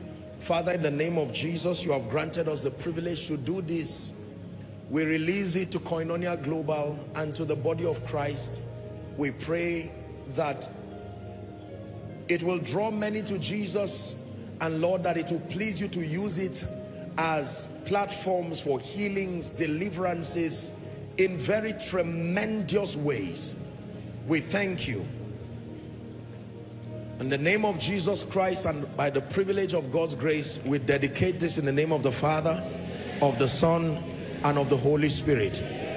Right, so God bless you. Please, ushers, um, you can begin to give it around Let, we'll do it in an orderly manner please when yours comes to you just receive and then be patient if for any reason we have more than enough more than enough more than enough at least for now the first set of the production is already about 32,000 so be patient everybody is going to get i know that some of you may want to get for some other people no problem at the end of the service you can politely make a request with the ushers or the PR and they will help you. And then for those who may, will you want to carry it and give people, please do not sell. There is nothing here that is not the jotters, not the exercise books. There is nothing that is for sale. Everything is being paid for. It is my gift. Jesus through me to you that are we together? So I'm saying this right now. We will not fail to take any decisive action once we hear that people are trying to take advantage of people's liberty. It shouldn't be. And I believe Azaria family, by the way, let's appreciate Azaria family. They are connecting right away. And um, so we're going to pray now. Praise God. Are you ready to pray? Blessed be the name of the Lord. Blessed is he who comes in the name of our God. Blessed is he who comes in the name of our God. Blessed is he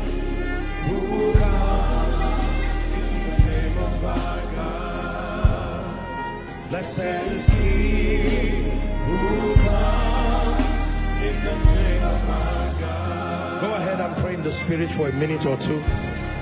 Shapako sata branda gebeleko shata fraska debelekos.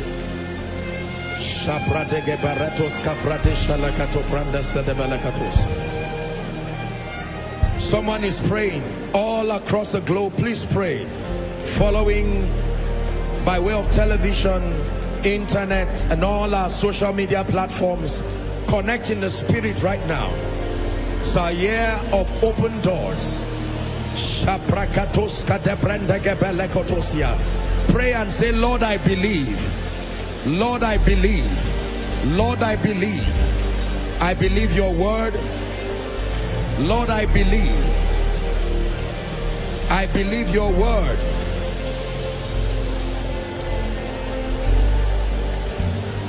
Someone is praying.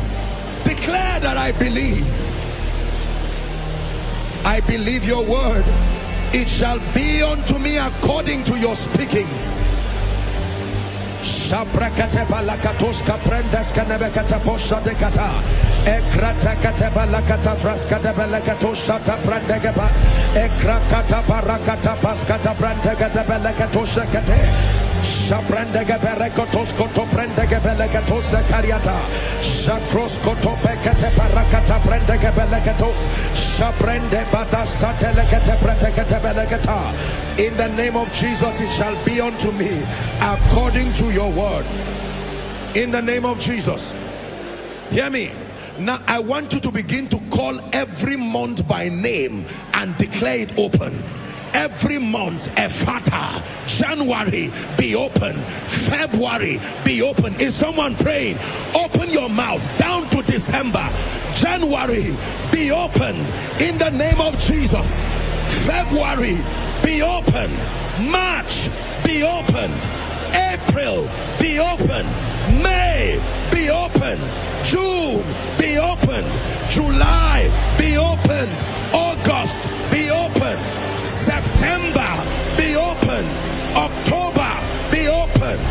November, be open. December, be open. 2023, be open in the name of Jesus Christ. Someone is praying.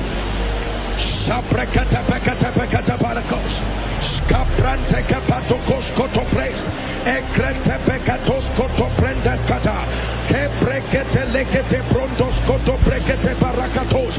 Be open in the name of Jesus. Be open. Be open. Be open. Be open. I decree and declare every month be open. Deliver that which is locked up within you. Hallelujah. Please help those under the anointing. In Jesus' name we pray. Shout this loud and clear. Say, Father, in the name of Jesus, I decree and declare that in this year of open doors, I prophesy over my life and destiny. All doors open. Open your mouth and begin to pray. Decree and declare. Mention every door you know. Command it to open. All doors. All doors. Marital doors. Financial doors. Ministerial doors. Business doors. Health doors. The door of your mind. The doors to your influence the doors of kingdom service, the doors to greater anointing, the doors to revelation. Someone is praying, all doors open, all doors open, all doors open.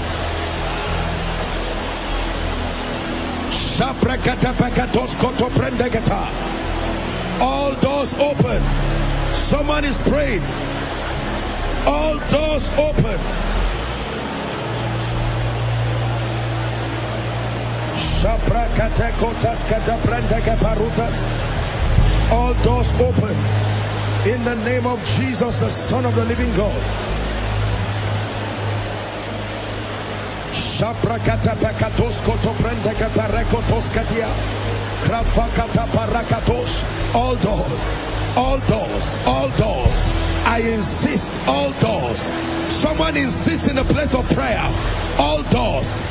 outside, all the overflows.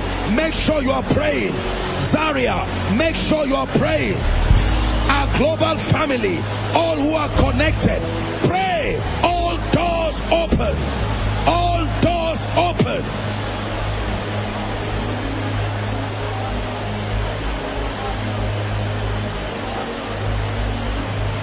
All doors open. Hallelujah. Hallelujah. Now, hear me, please. Hear me. I'm going to lead you to make a declaration.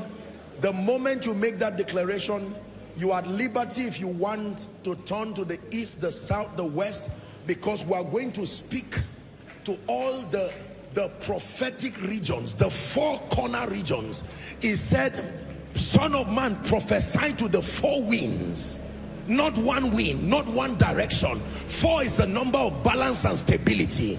You are going to declare whether it's the north, south, east, and west.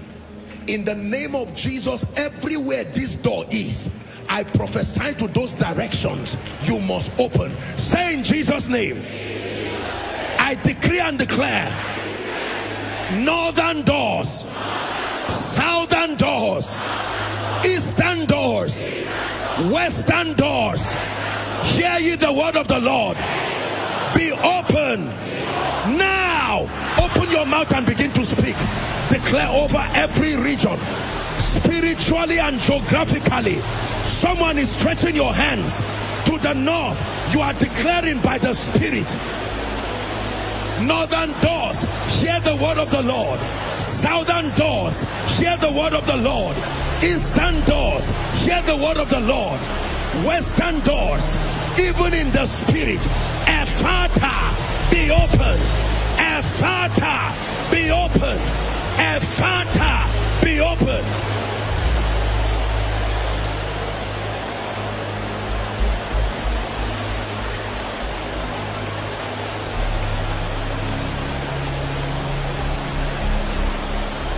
Be open. Be open. Be open. Prophesy. Be open. The four winds breathe upon this lane in the name of Jesus, the Son of the living God. Let the winds be open. Let the doors be open.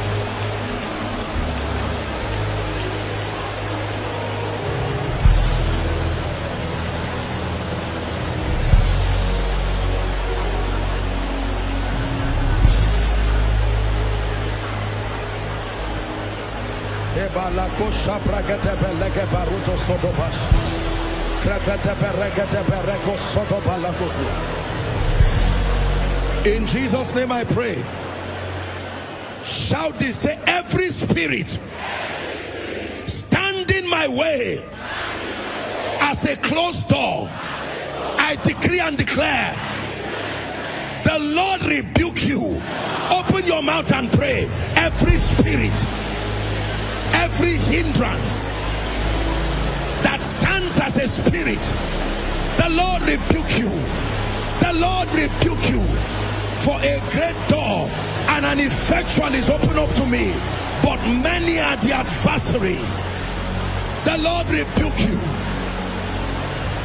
The lord rebuke you. The lord rebuke you. The lord rebuke you spirits of delay, backwardness, retrogression, failure at the edge of breakthrough, the Lord rebuke you.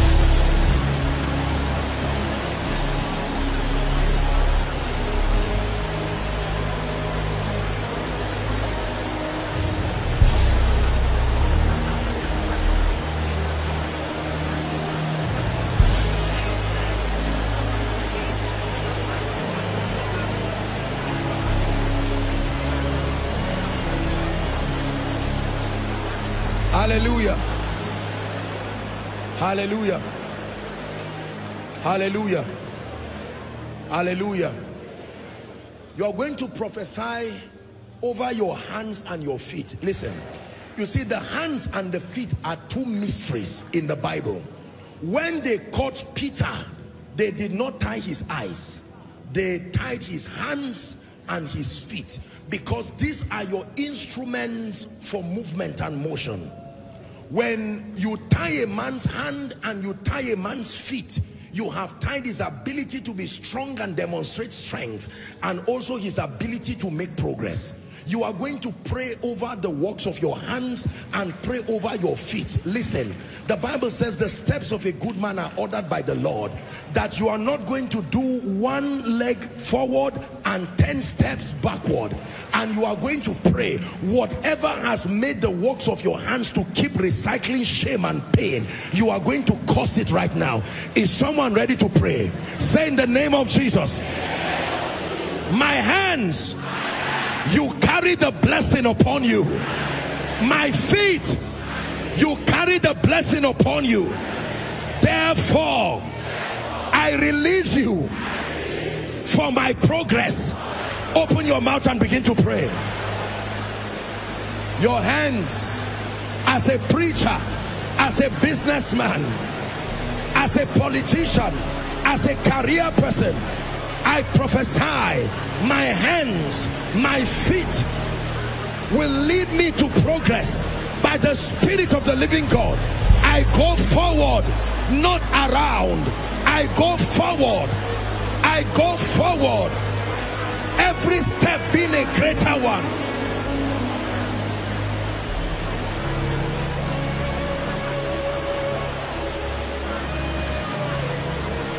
Someone declare declare, declare.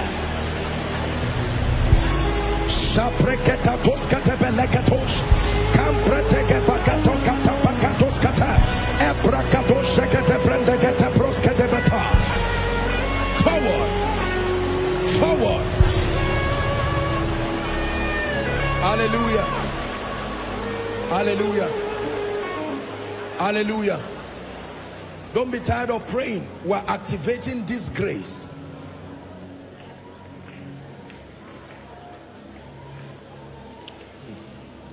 In Jesus' name we pray. In Jesus' name we pray. Do you believe in prosperity?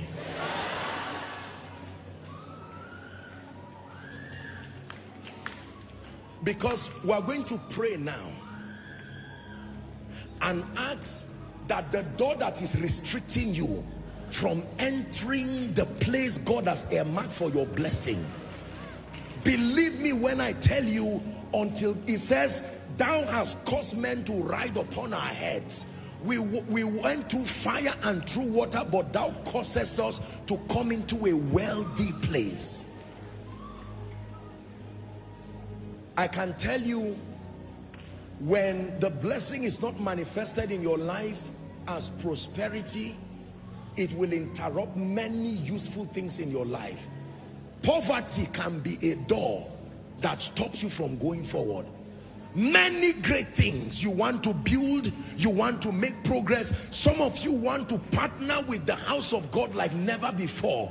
But this demon spirit of poverty. There are many conferences many outreaches many things to do for the kingdom. There are many pastors in ministry. They are limited they are owing they are in debt. There are many business people. Some of you what you used to do before in terms of blessing others you no longer can do it.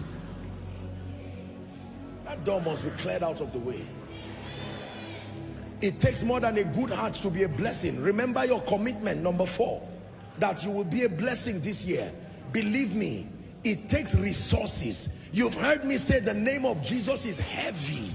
It takes resources to lift it up for the nations to see.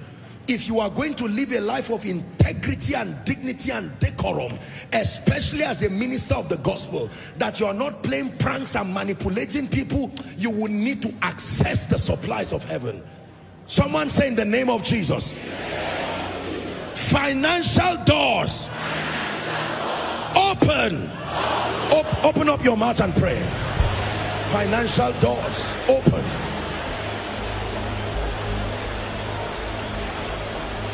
Ideas, insights, access to light, doors of value. Open, doors of strategic relationships open, strategic relationships open, strategic relationships open, strategic relationships open.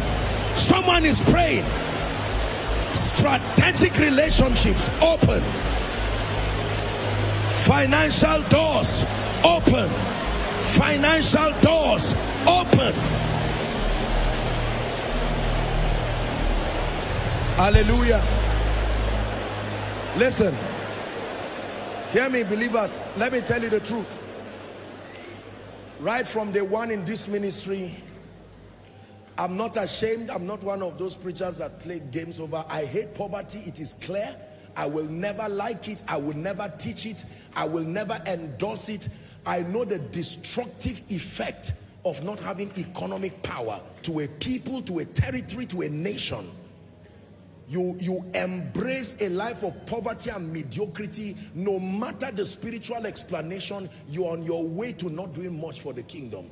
What we manage is lost and exiting Christ out of your pursuit for wealth. When your pursuit for wealth becomes a, an appetite for the gratification of the flesh, it compromises on your spiritual life, your passion for God, and it is not used as a tool to reveal him. Now we will frown at that.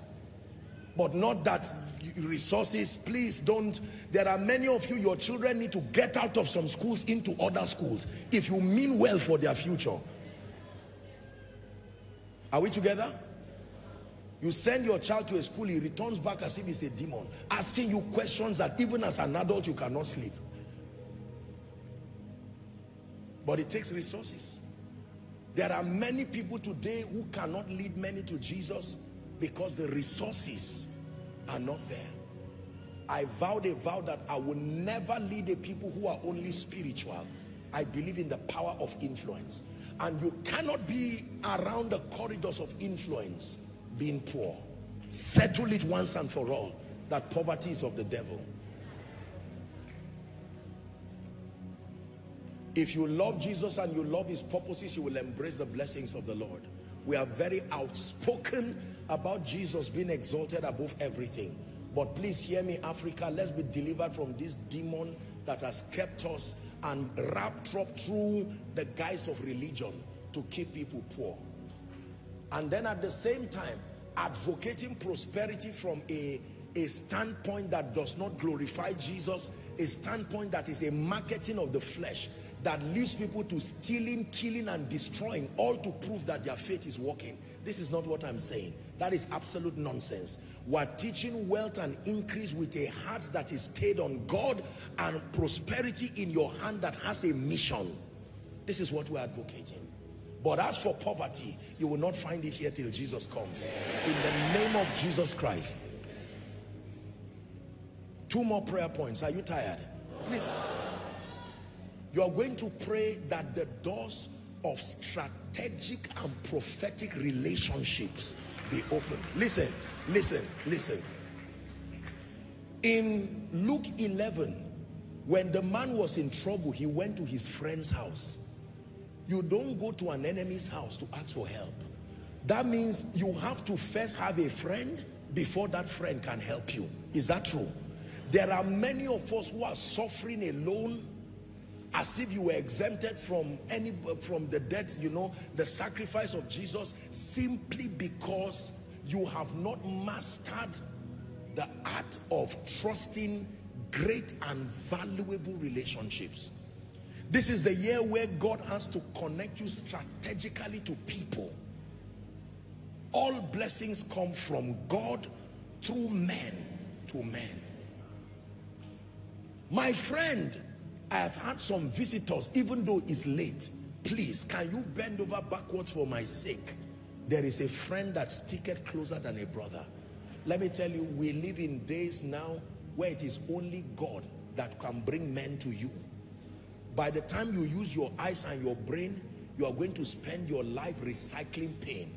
You need to pray and say, Father, I don't know what door is closing my strategic relationships that includes destiny helpers. And I've taught you that there are four kinds of destiny helpers never forget. Number one divine connectors. Number two men and women of influence. Number three gifted men. Number four burden bearers. You need these four people in your life. Say in the name of Jesus. Shout it again. Say in the name of Jesus. Father I decree and I declare that the doors of strategic destiny relationships be open up to me. Open your mouth and pray. Open your mouth and pray. Open your mouth and pray. Someone is praying.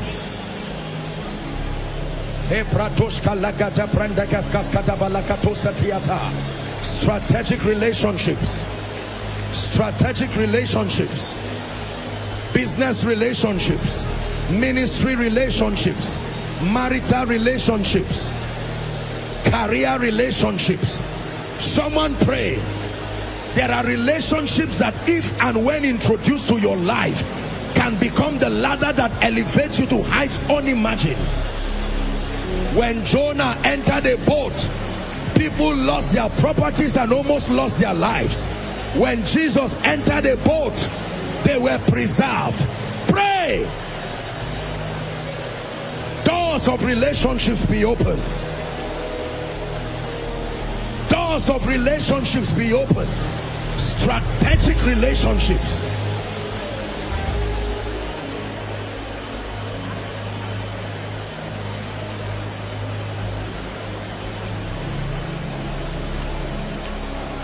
Hallelujah. Hallelujah. We have one more prayer, but it just occurred to me now that when we pray that one prayer, I'll add one more. We have to pray for Nigeria. we have to pray for Nigeria. Hallelujah. Growing up, we were made to sing the national anthem and the national pledge. And we said many powerful things in those anthems that burnt in our hearts. Today, we have many people who do not understand the value and the power of nationhood. Thank God for very visionary leaders and people who are, you know, making these great contributions to help build a sense of leadership and decorum. It is the assignment, listen to me, it is the assignment of the church to pray that any nation they find themselves, he said, pray for the peace of Jerusalem. We are going to pray. Elections are by the corner. We are only weeks away. And as it has been before now, every time is the moment of election, you find deaths, all kinds of things. I don't care who comes into power. If people die, it's not worth it. We have to first pray that God will preserve lives. Nobody who comes into power has the power to bring, to bring the breadwinner of a woman whose son, if the woman, the widow at Nain had lost her husband and now her only son had died, she didn't care whether it was Jesus who was coming, she was mourning until Jesus came and solved her problem. Listen to me. We have, we hopefully by the miracle service will take more time to pray, but the, I don't do politics, I don't do partisan politics. There are people in every party in this, in Koinonia. And fatherhood is your father to everybody. I've prayed for people across every party, even some I don't even know they existed. I still prayed. That's my job. Are we together now? But I will tell you this, listen carefully. Listen carefully, please. We are going to pray. We have to pray for three things. Number one, that God will help us and that his will will be done for this nation. We're tired of a lot of rubbish and nonsense in this nation. Are we together? Number two, this is my personal observation, and I'm saying this to the body of Christ. Our emphasis seems to have been only on presidency. We're making a big mistake. No, there is no single president without the support of visionary governors, house members who can do well that the illusion that it doesn't matter who comes into power, Nigeria will magically change is a joke. Nigeria is a democracy, it's a composite. There are 774 local governments, every one of them manned by leaders. And I can tell you, even if Lot is a good man, if he's surrounded by a place like Sodom and Gomorrah, he will still be ineffective. So the prayer, our attention seems to be on only the presidency. And I understand the dynamics of politics. I'm a Nigerian. But then we must extend our prayer to all the 36 states, all the senatorial zones, the, you know, the local governments and all of that, down to the councillor. If a councillor is a thief, he has contributed to the, the trouble in this, in this nation. Don't say what he stole is small. Stealing is still stealing. Are we together? Yes. Now, I'm saying this on air and I'm being very careful. I'm not, I have profound respect for the body of Christ and all the voices across the body of Christ, but I want you to listen to this. Please listen. And there's a reason why I'm saying this. I've seen many things about the election. Ethically, I don't come out to just, I respect God, I respect this ministry, and I respect myself too. Are we together? But I can tell you, there are two warnings and I want you to quote me. I saw this in a vision. Media houses, be careful. This is one of the things I saw in my vision.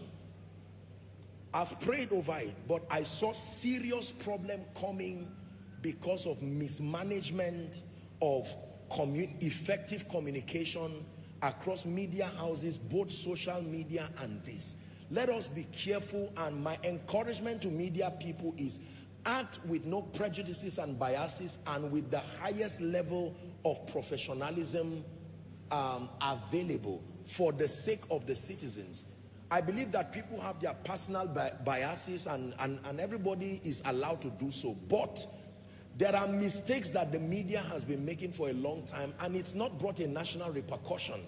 But I fear that if we do not take out time, and those who head media houses, if there are any here, I know we have one or two, is my word of caution lovingly to you, and then across the body of Christ. media houses, let us be careful because what I saw was a problem that evolved from media.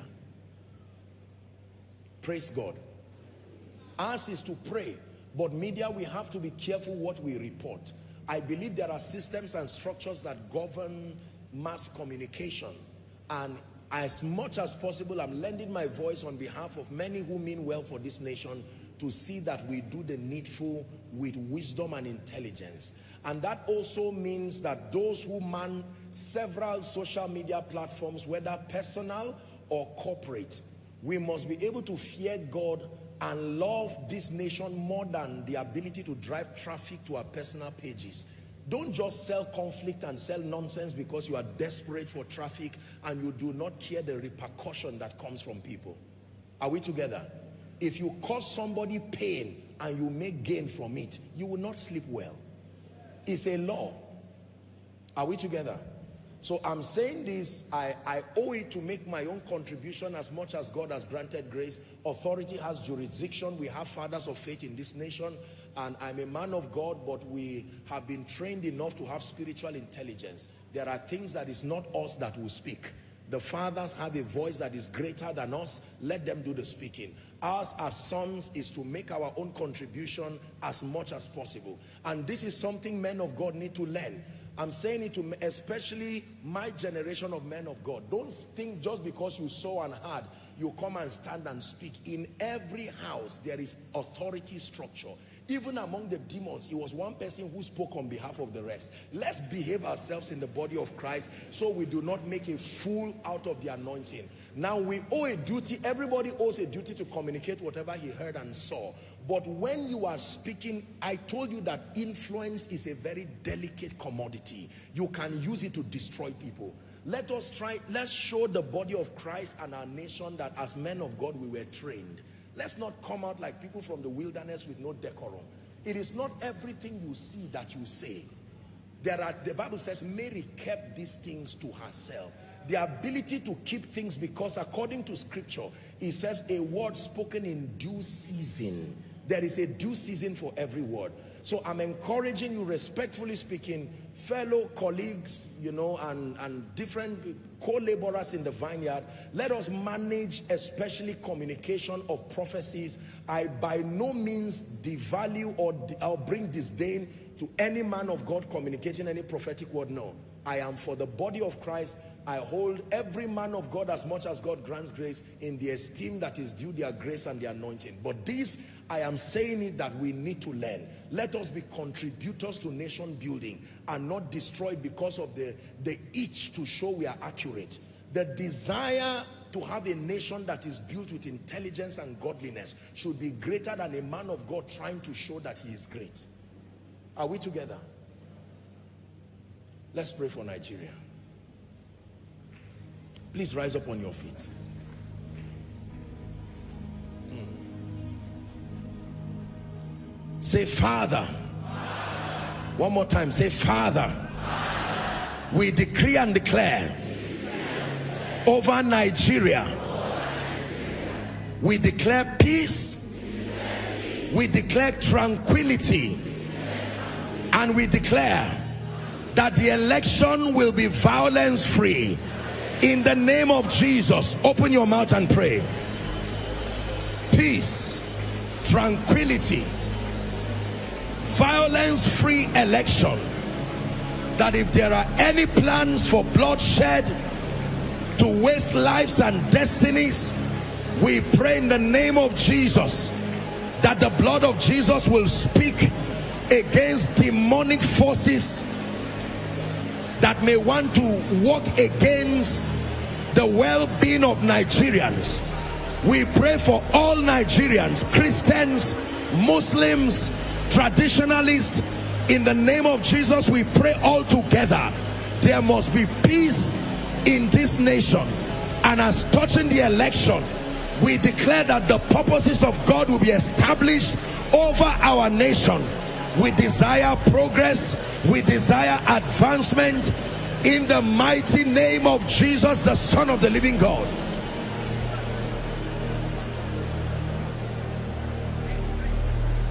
pray for the presidential election. Pray for the gubernatorial election. Pray for the Senate.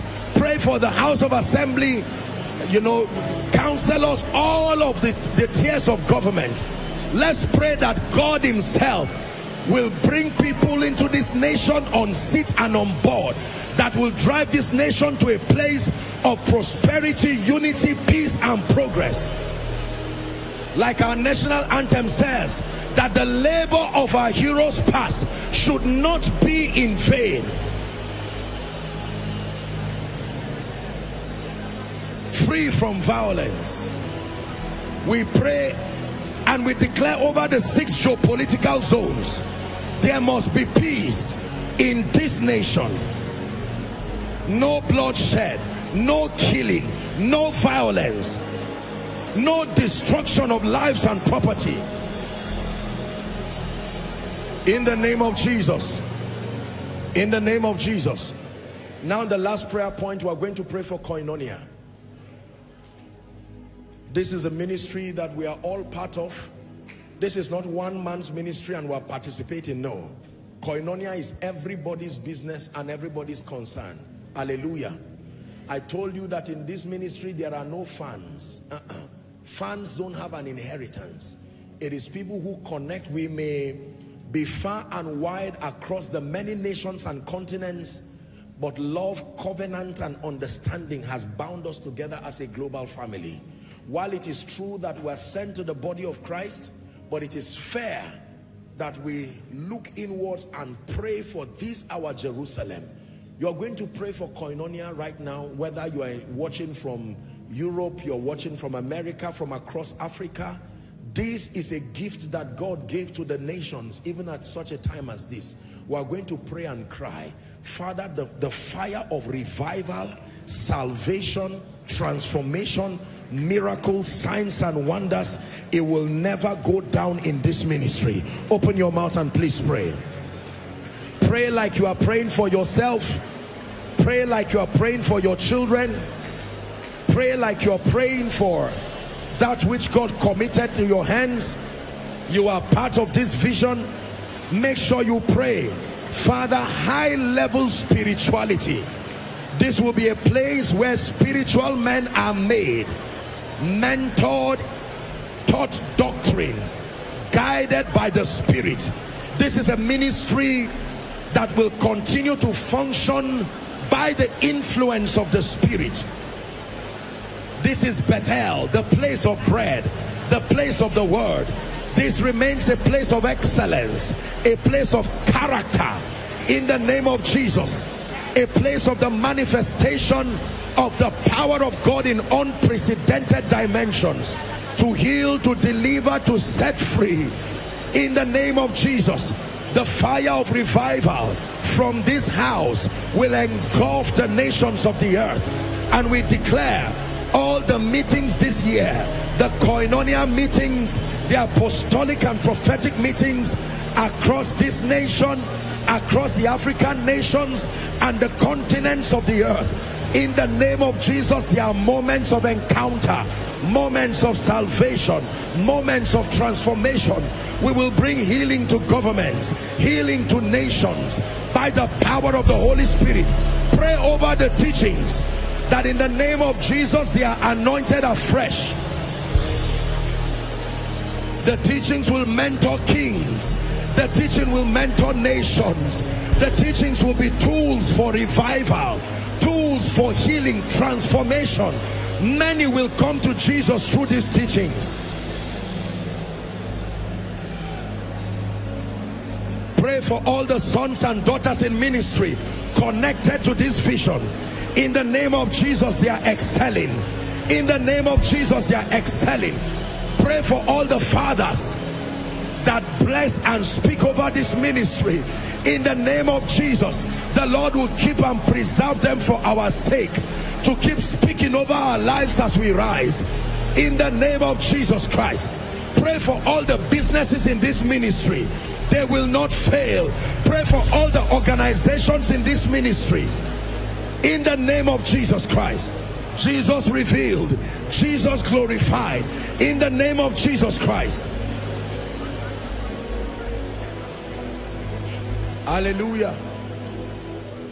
Jesus spoke to Peter and said, Thou art Peter, and upon this rock I will build my church, he says, and the gate of hell shall not prevail. We have prayed for koinonia. The meaning of that is that everything in your life, because you are part of this vision, everything must answer to that prayer. Koinonia cannot go up and you go down. Koinonia cannot go forward and you go backward. I decree and declare in the name of Jesus, we all rise together. In the name of Jesus, we all shine together. In the name of Jesus, we all reveal Jesus together.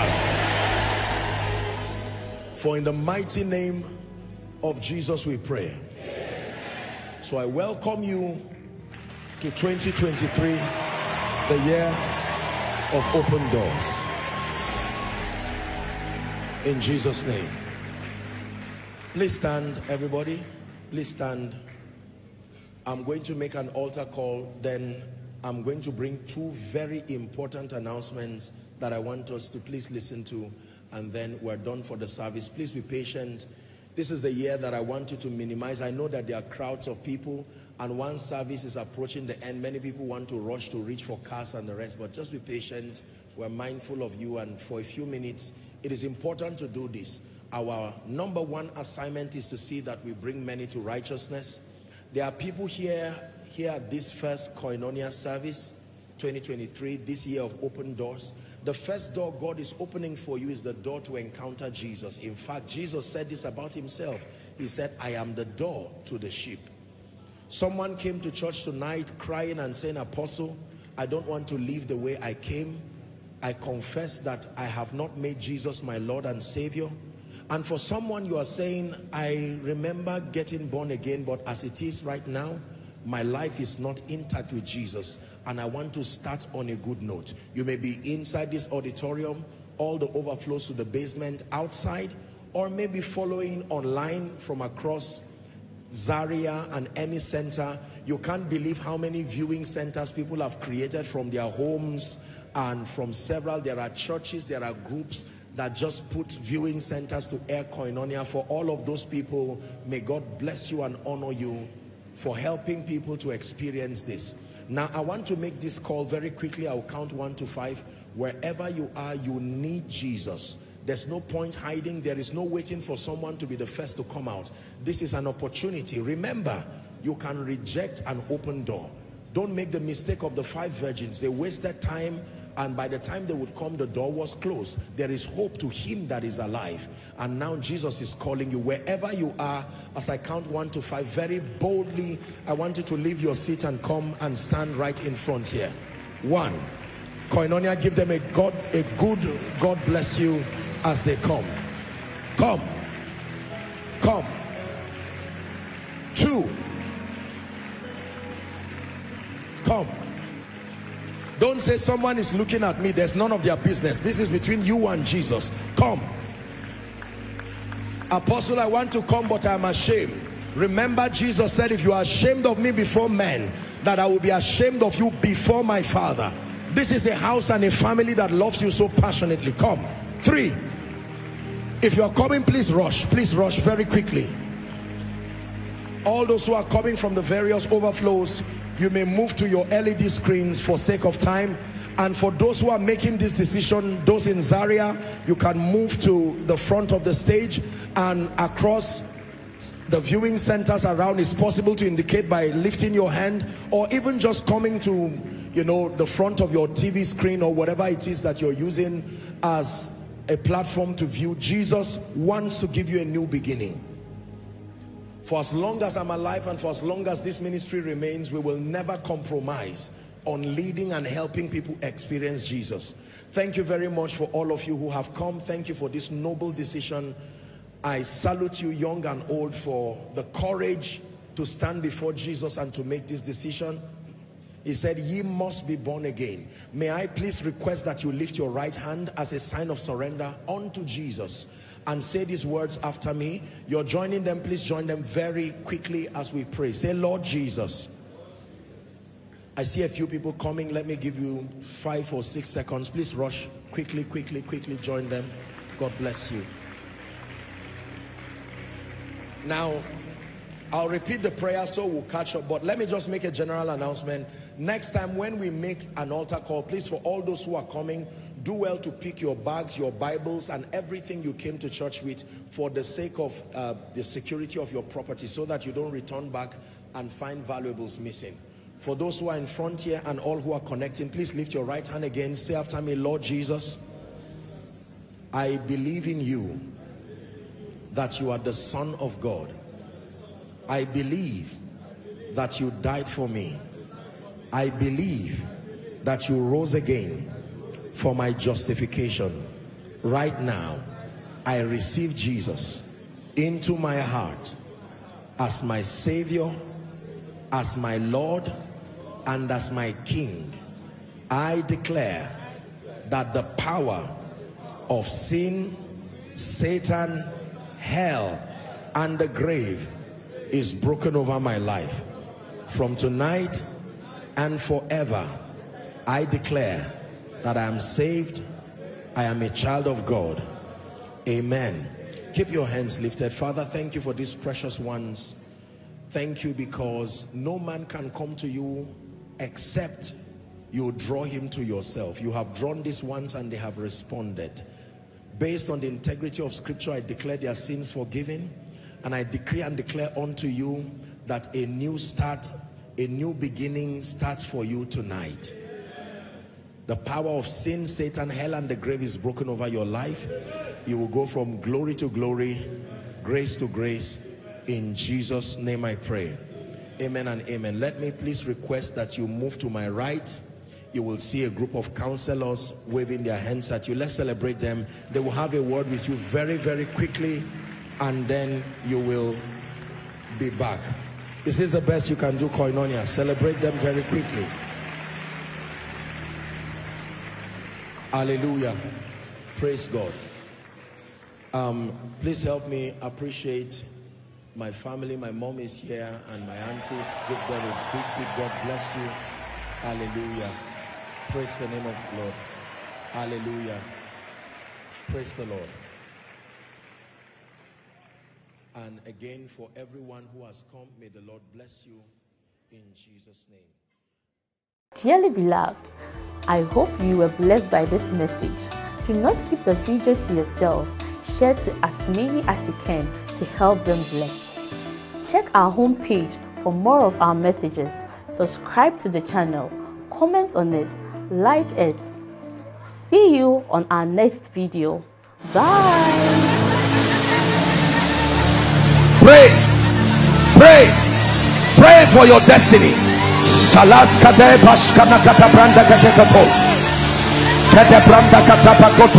brekete kele kata. The phase of development. Lord, grant me the discipline